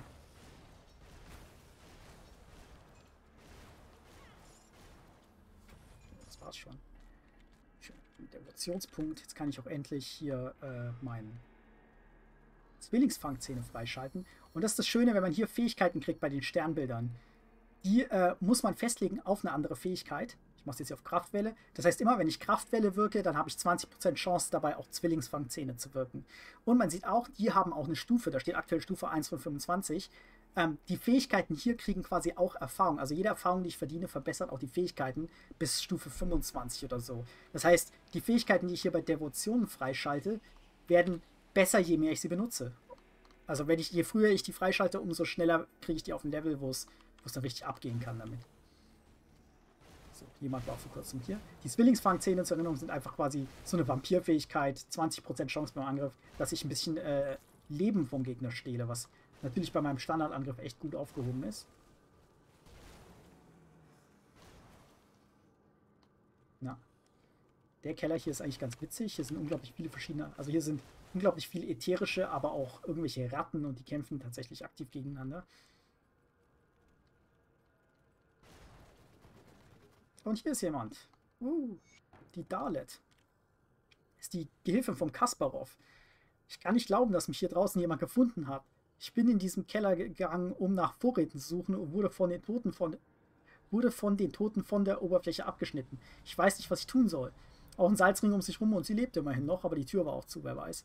Ähm, Kasparov schickt mich. Ich kann ein Riftgate für euch öffnen und euch in Sicherheit bringen. Du kannst das? Das weckt zwar nicht gerade mein Vertrauen in dich, aber andererseits mag ich die Alternativen auch nicht. Portal auf. Und tschüss. So. Das ist sehr hilfreich, die Dale zu haben. Die äh, ist nützlich. Die steht jetzt beim Kasparov rum und macht da ihren Job. Kasparov war der, ich will sagen, verrückte Wissenschaftler äh, aus David's Crossing. Weil wenn ich mir ansehe, wie die Welt aussieht, ist er wahrscheinlich einfach nur ein ganz normaler Wissenschaftler. Da gibt es noch wesentlich verrücktere hier.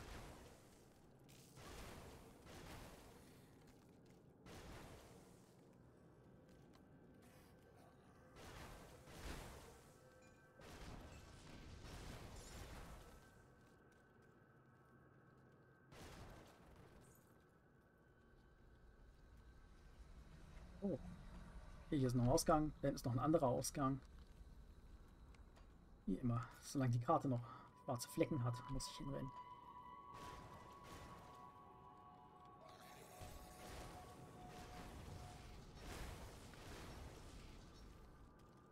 So, wenn man die Fangzähne bei Skelettbeschwörung nutzt.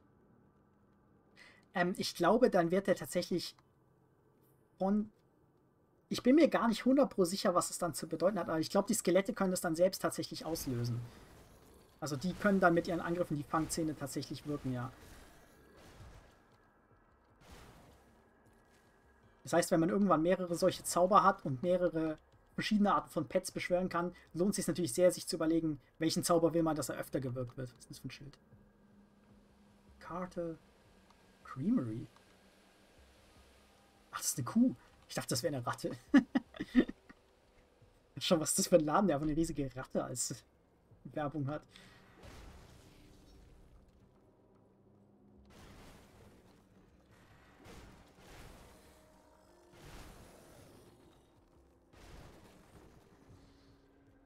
Ah, hier ist der dritte Ausgang von dem Keller gewesen. Schauen wir mal, was ich noch alles schaffe heute.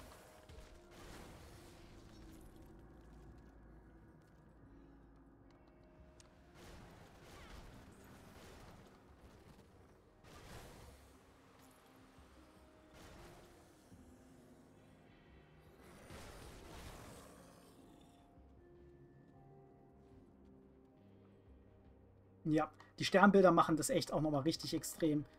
Weil da kann man so viel verschiedenen Kram rausholen. Es gibt dann halt auch so Fähigkeiten, die einem helfen, plötzlich mit anderen Elementen umzugehen, als der Charakter eigentlich gedacht wäre. So, hier ist so eine fette Barriere, äh, die kann ich nicht aufmachen. Die ist auch tatsächlich dann erst äh, im fünften Akt wichtig, da wird die dann aufgemacht. Der fünfte Akt war ein DLC, das heißt, es ergibt auch Sinn, dass man da jetzt halt einfach noch nicht rein kann, so.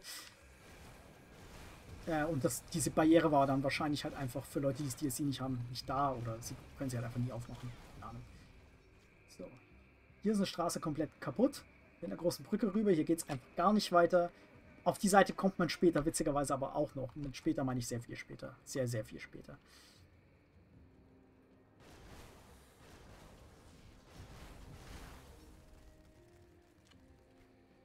Okay, jetzt sind wir wieder bei der Brücke. Schön, ich habe gefühlt vor einer Stunde gesagt, ah, hier ist die Brücke, aber da gehen wir nicht lang und dann bin ich hier komplett ausgelaufen. Oh.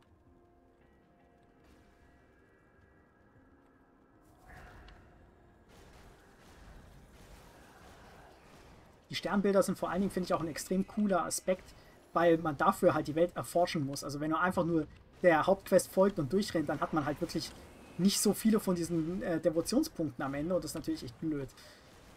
Und ich bin ja jemand, der es liebt, die Welt zu erforschen und alles mal abzugrasen. Das heißt, für mich ist das natürlich perfekt. Und ich glaube, wenn man wirklich gründlich sucht, kann man im ersten Spielverlauf irgendwie so 40 oder so von diesen Punkten schon finden. Und das werden eigentlich nur mehr mit jedem weiteren Spielverlauf. Das Maximum ist aber 55. Das heißt, ja, wenn man nicht wirklich erforscht, kriegt man wahrscheinlich schon irgendwann auch alle zusammen. So, hier steht Typ.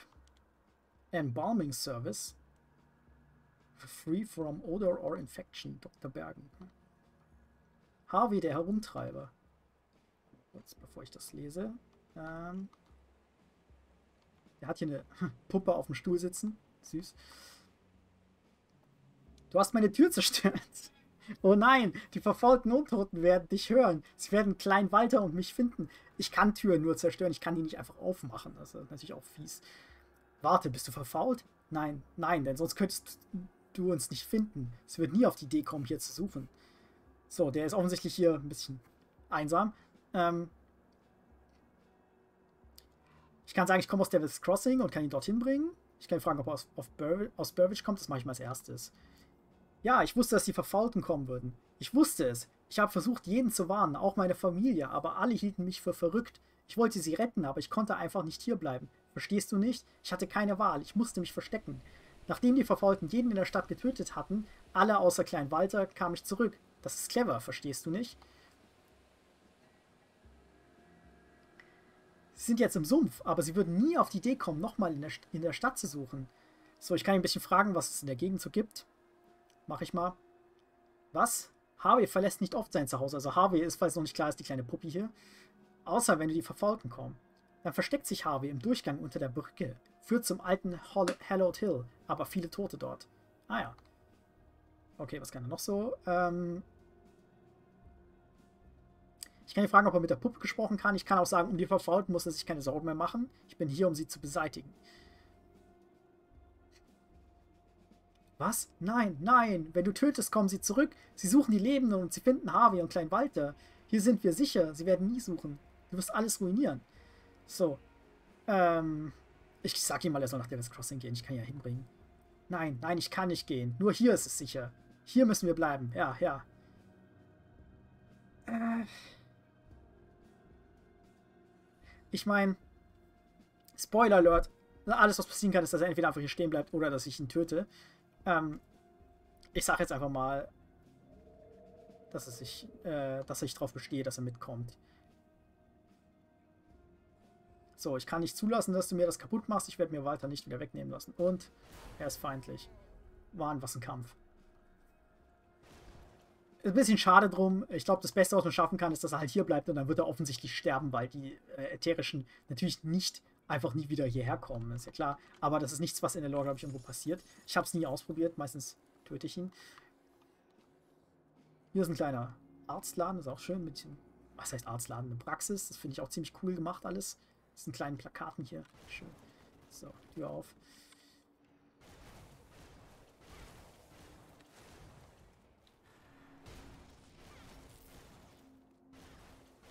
Hm. Gerade auf die Uhr schaue, überlege ich gerade, ich gehe jetzt auf jeden Fall noch zu diesem Durchgang, von dem er erzählt hat, und gehe dann in Warden Creeks Haus. Da kommt nämlich dann auch relativ bald wieder ein Portal. Das finde ich ein ganz guter Abschluss. Das heißt, heute wird es wahrscheinlich ein bisschen länger als 22 Uhr, aber nicht viel. Nicht, falls ihr irgendwelche anderen Pläne noch habt. Stimmt, noch ein Level bis zum Hammer. So, hier unten ist der Durchgang mal wieder so ein Gebiet, was einfach auf der Karte nicht verzeichnet ist. Deswegen ist es ganz nett, dass er einem das sagt, wenn man es nicht zufällig eh findet. Weil man kann diese Höhle teilweise von der Brücke aus schon sehen. Da weiß man ja, da muss man irgendwie hinkommen. So, gefährliche Domäne. Oh, oh. Lass mal ein Portal. Und hier sind nur Slith, wie immer.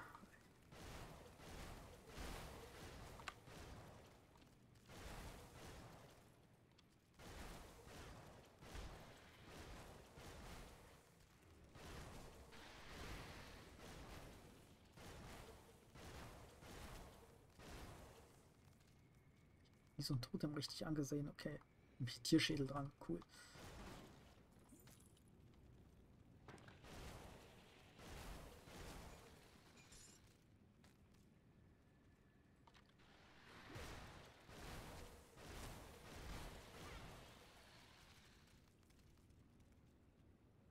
So, ist zum Glück relativ straightforward, diese Höhle. So ein riesiges Labyrinth wie die überflutete Passage hätte ich jetzt nicht nochmal Lust. Ah, sagt er, und das ist die Abzweigung. Ja. Nee, doch nicht. Hier ist ja gar nichts.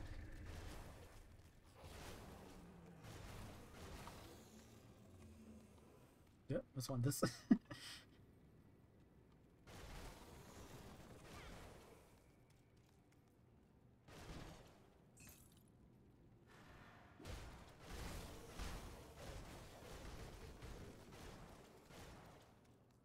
so, und hier geht's raus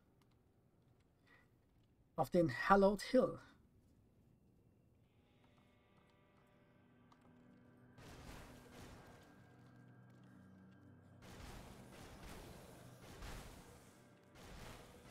Ich bin mir nicht 100 pro sicher. Ich glaube, der Hallowed Hill ist sowas wie der Hauptfriedhof äh, von Burbage.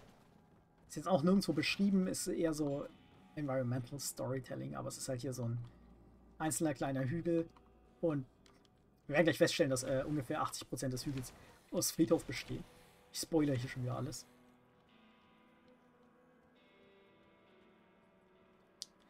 Das stimmt, äh, dass die Slith tatsächlich vielleicht ein Experiment der Armee waren oder so, ist tatsächlich auch sehr spannend. Ähm und ja, diese Wassermagie, die die haben, ist auch relativ einzigartig. Ich glaube auch, das ist nichts, was der Spieler irgendwie lernen kann. Die meisten Zauber, die man von Gegnern sieht, sind so Sachen, da denkt man, ja klar, folgende Klasse kann das auch. Aber ich glaube, Wassermagie ist komplett einzigartig. Eine Axt gefunden. Genau. Boah. So viel Krams hier. Ich muss ein bisschen aufräumen. Das muss ich ja schon, schon wieder sofort verkaufen gehen hier. Ja, wisst ihr was? Mache ich gerade mal. Die gerade mal kurz verkaufen.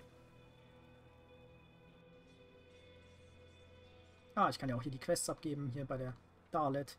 Vielen Dank, dass du mich rechtzeitig gerettet hast. Kasparov hat keine Zeit verschwendet und mich zurück an die Arbeit geschickt. Ich bin hier, wenn du mich brauchst. Frag einfach. So, und jetzt habe ich damit äh, den, die Erfinderin freigeschaltet. Und die kann verschiedene Sachen. Äh, es gibt Bergung der Montage transmutieren. Der Montage transmutieren muss ich erst noch freischalten. Bergung ist einfach, dass ich von dem Gegenstand seine äh, Komponente runternehmen kann oder eine Komponente aus dem Gegenstand bekommen kann. Also entweder ich zerstöre die Komponente oder den Gegenstand, ist beides möglich. Manchmal hat man halt echt teure Komponenten, die man auf irgendwas draufgeschmissen hat und dann findet man eine bessere Version desselben Items. Dann ist es einem das schon wert, das Item zu zerstören, um die Komponente aufs Bessere zu werfen. Ähm, die Handschuhe sahen cool aus, mal kurz gucken. Nee, das lohnt. Obwohl Zaubergeschwindigkeit ist ganz gut. Ja, die, die ziehe ich jetzt einfach mal an. Kleiner, äh, kleines äh, Metawissen, äh, die äh, Druckwelle ist keine, kein Angriff, sondern ein Zauber. Das heißt, was Zaubergeschwindigkeit erhöht, ist tatsächlich auch äh, für die Druckwelle gut. Kraftwelle.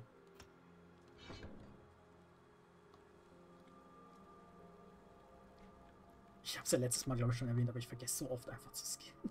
Ich renne so oft, aber meistens blinkt dann der eine Button nur nicht mehr, weil ich das Inventar für irgendwas aufgemacht habe. so, ah ja, hier bei der die Quest abgeben. Stoff gefunden? Ja, hier ist er. Und zack, jetzt haben wir hier überall schöne Stoffdächer. Großartig, das ist mehr als genug, um diesen Ort ein bisschen aufzuräumen. Sollte auch noch ein paar Reste haben, neue Kleidung herzustellen. Viele Leute tragen hier nichts als Lumpen. Oh, und nimm bitte diese Jacke. Ich nähe sie für Briggs und die anderen Wachen, aber ich denke, du hast dir die erste verdient. So. Dankeschön. Hat sich echt gelohnt. Äh, ja, aber jedenfalls haben wir jetzt hier schönere Dächer. Das ist doch was. Die leeren Räume werden tatsächlich irgendwann, wenn ich es nicht verkacke, äh, auch noch mit Leuten besetzt. So, jetzt aber schnell. Viel haben wir nicht mehr vor uns, aber ich will auch nicht zu weit überziehen.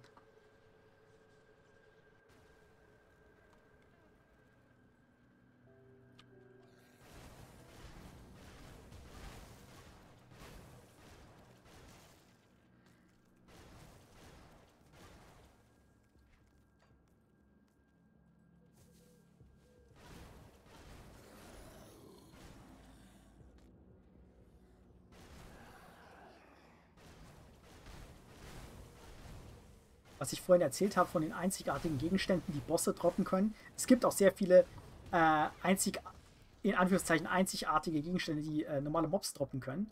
Hat man gerade gemerkt, ich habe von mehrmals von diesen, von diesen Fleischverformungen und Schlechtern und sowas ähm, Mutantenkeul gefunden. Und das ist halt auch so ein Ding, die droppen halt nur von denen und dann droppen die von denen aber halt auch relativ zuverlässig.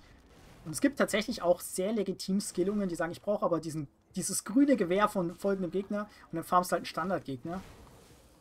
Ähm, du kriegst es halt von dem. Also es gibt echt total sinnvolle Skillungen, die nur grüne Items und gekaufte Items benutzen oder gebaute Items.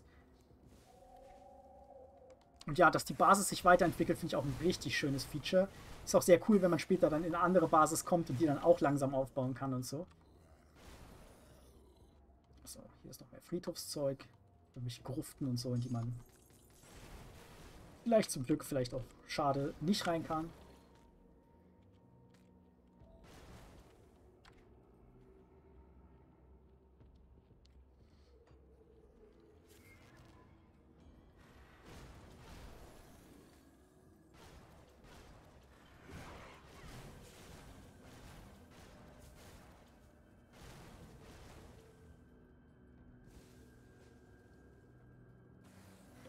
War es hier jetzt auch schon auf Galot Hill. Ja, das war alles. Ich habe da ja gerade eine äh, goldene Truhe gefunden. Das ist eigentlich alles, wofür man das wirklich hier macht. Auf höheren Schwierigkeitsgraden ist hier tatsächlich auch ein Schrein. Also auch eine Sache, dass auf höheren Schwierigkeitsgraden teilweise mehr Schreine existieren, um halt dann den Leuten, die nicht einfach alles fanatisch erforschen, äh, auch eine Möglichkeit zu geben, die Schreinzahl voll zu kriegen. Ähm, hm, ich porte mich mal und laufe über die Brücke. Das geht, glaube ich, schneller, als da jetzt wieder komplett zurückzulaufen. Jetzt bin ich zwar wieder ganz hier unten, aber hier bin ich ja schnell hingelaufen.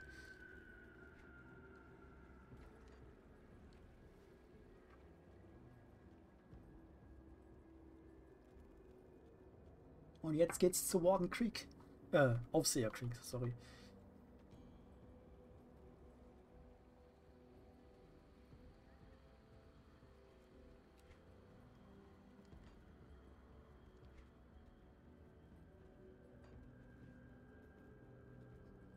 Wenn man einmal alle Gegner weggeputzt hat, dann ist es meistens echt nur noch Laufen nach der Karte.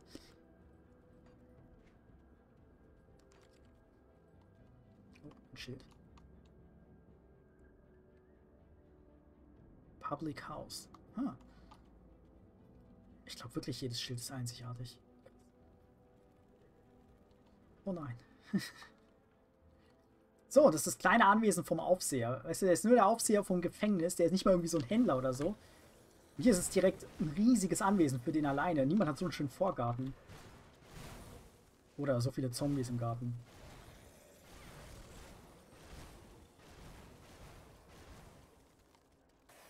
Äh, ja, ich habe tatsächlich mir einen Greenscreen zugelegt, ja. Der ist auch für die Arbeit ganz praktisch, aber ist eigentlich nur auf, über so einen Raumteiler so eine grüne Greenscreen-Decke drüber geworfen.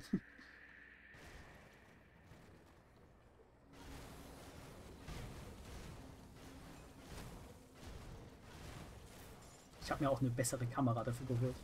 Äh, auch nur eine Webcam, die ich halt auch sehr viel bei der Arbeit benutze, aber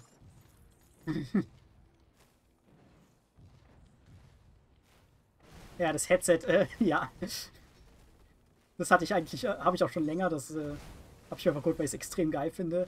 Und ich kann es tatsächlich empfehlen. Die Qualität ist wirklich gut davon. Fühlt sich sehr gut an beim Tragen, hört sich gut an. Ist nicht nur ein Meme. Aber es ist auch ein Meme. So, Inquisitor Creeds Tagebuch, dritter und vierter Eintrag. Äh, die ersten zwei haben wir gefunden, boah, ganz hier unten bei Lower Crossing in einem Haus, in einem Hotel. Die lesen wir jetzt mal noch. Hatte ja der Hafenmeister geschrieben. Werfen Leute Feuer gegen das Haus. Außen gegen, gegen den Kamin, okay, so geht's nicht. Ja. Der Hafenmeister hat ja geschrieben, dass er Marmoth äh, kontaktieren will für den Inquisitor. Nachdem ich die Trostloste gegen Whitemire durchquert habe, bin ich endlich in Burwich angekommen. Schon seit Jahren kursieren Geschichten von übernatürlichen Ereignissen über Whitemire. Und tatsächlich sorgte der Name selbst für Beunruhigung. Ich habe nicht viel von ihnen gehalten, aber meine jüngsten Erfahrungen machen die alten Geschichten etwas glaubwürdiger. Dennoch habe ich mein Ziel erreicht und offenbar hat der Aufseher von Devil's Crossing, der in Burwich wohnt, irgendwie meine Ankunft erwartet. Ein Fußsoldat begrüßte mich, als ich die Stadt betrat und bestand darauf, dass ich Creeks Einladung, auf seinem Landsitz untergebracht zu werden, annehme. Ich finde das sehr merkwürdig, aber ich habe das Angebot angenommen, da es meine beste Chance sein könnte, den Landsitz zu untersuchen werde diesen Eintrag kurz halten, da ich gerade zum gemeinsamen Abendessen mit Creek im Speisesaal gerufen wurde. Dies sollte sich als aufschlussreich erweisen. Vierter Eintrag. Ich bin jetzt seit über einer Woche Gast bei Aufseher Creek auf seinem Landsitz und mein Verdacht, dass hier etwas Furchtbares vorgehen wird, wächst mit jedem Tag. Jeden Tag begebe ich mich zu einem Ziel in oder um Burwich, um noch ein weiteres ungewöhnliches Verbrechen oder ominöses Gerücht zu untersuchen. Einige werden einfach als banale menschliche Verbrechen oder nur fantastische Geschichten abgetan, aber viele meiner Untersuchungen sind zu dunkleren Schlussfolgerungen gekommen. Ich habe das Gefühl, dass hier ein Muster entsteht, aber ich kann die Teile noch nicht zusammenfügen. Dies sind jedoch nebensächliche Fälle und der Hauptgrund meiner Beteiligung an ihnen ist, ein Vorwand für meinen Aufenthalt in Burwich zu haben. Creek selbst ist der Fokus meiner primären Untersuchung geworden. Trotz überwältigender Überzeugung, dass Creek nicht der ist, der er vorgibt zu sein und er höchstwahrscheinlich in irgendeiner Art unnatürliche Aktivität verwickelt ist, habe ich keine unwiderlegbaren Beweise eines Fehlverhaltens gefunden, die zum Einleiten einer offiziellen Inquisition benutzt werden konnten. Ein Großteil des Landsitzes selbst ist für mich abgeschlossen. Oben gibt es Räume, aus denen Creek und andere Besucher ein- und ausgehen, aber mir ist der Eintritt nicht gestattet. Noch seltsamer ist jedoch, dass ich in der Nacht von einem Geräusch aufgewacht bin, das sich anhörte wie quietschende Wagen, die eine Straße entlang fahren. Aber dann sah ich aus dem Fenster auf das Dorf hinunter und konnte nichts sehen. Woher kamen diese Geräusche? Das Katze- und Maus-Spiel geht weiter, aber bis jetzt bin ich mir nicht sicher, wer die Katze und wer die Maus ist. So, das ist das Gästezimmer, wo dieser Creed drin gewohnt hat.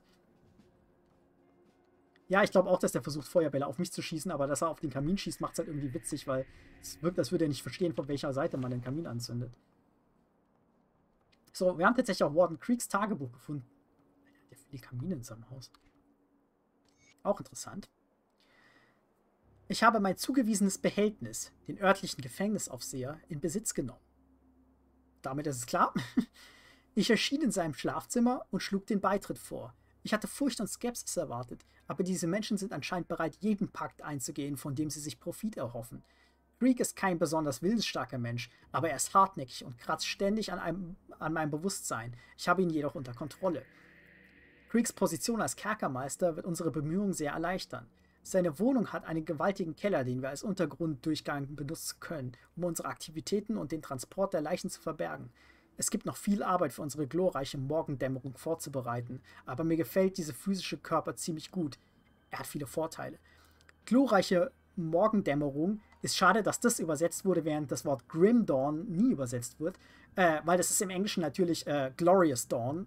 Das heißt, aus Sicht von den Leuten, von den Ätherischen, ist es auch ein Dawn, aber halt ist es eine gute Sache. Also die sind ja äh, aus irgendwelchen Gründen hier. Mit dem Eintrag ist natürlich auch komplett schon bestätigt. Ja, der Warden Creek ist von dem Ätherischen besessen. Witzig ist, sollte man kurz nochmal bewusst beachten, ist ein Tagebucheintrag von Warden Creek, aber es ist nicht von dem Original Warden Creek, sondern von dem Ätherischen. Ähm, das heißt, der Ätherisch selbst hat Tagebuch geführt. Und er hat ja auch kurz beschrieben, so, das ist der Keller des Aufsehers. Ich nehme mir einfach mal das Portal. Der ist natürlich jetzt auch ein klein bisschen größer, der Keller. Da machen wir nächste Woche weiter. Ähm, jetzt habe ich komplett vergessen, worauf ich gerade hinaus wollte. Äh, genau, der hat ja auch beschrieben, dass der an seinem Bewusstsein kratzt und so. Das heißt, von so einem ätherischen besessen zu werden, ist nicht einfach nur, du bist komplett weg. Aber wahrscheinlich ist es schon auch so ein, naja, du merkst halt, dass dein Körper was anderes macht, als du willst. Ähm, dass jemand anders den steuert und du bist da irgendwo noch. Vielleicht gibst du irgendwann auf. Äh, und ja, die letzten paar Erfahrungspunkte sammle ich jetzt nicht noch. Dafür ist jetzt zu spät. Nächste Woche können wir uns darauf freuen. Ähm, das macht es natürlich noch mal ein bisschen makaber, dass am Anfang von der heutigen Folge ich äh, von dem Harmond ja die Quest gemacht habe, wo ich diese beiden Zombies auf dem Feld getötet habe. Und der war voll so, ja, ich hoffe, hoff, die haben gelitten, wenn man weiß, dass die Menschen da tatsächlich eigentlich noch drin stecken. Vielleicht stirbt quasi der Mensch da drin irgendwann ab und nur noch der Ätherische hat die Kontrolle. Ähm, wer weiß. Ich glaube nicht, dass alle ein Angebot quasi kriegen, von wegen, hey, willst nicht mit uns zusammenarbeiten? Dafür gibt es viel zu viele Besessene. Ähm, scheint auch einen kleinen Unterschied zu geben. Ich meine, es gibt diese willenlosen Zombies und es gibt Leute, die halt wirklich dann noch ein Tagebuch führen, so wie der Warden Creek halt. Ich weiß nicht, ob das ein Unterschied wirklich ist darin, wie diese Leute besessen wurden oder ob das einfach ist, wie der Ätherische drauf ist, der ihn besessen hat. Kann ja sein, dass die einfach, manche haben halt keinen Bock, schlau zu sein und zu reden, sondern die wollen ja nur rumschlurfen und Leute attackieren. Vielleicht, wer weiß. Ähm, vielleicht ist ein Unterschied, wenn sie eine Leiche besessen haben oder einen lebendigen Menschen. Kann ja auch, eine, kann ja auch ein Unterschied sein. Oder halt ein Tier, gibt es ja auch.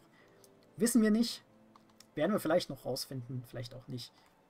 Wird noch viele Geheimnisse hier geben.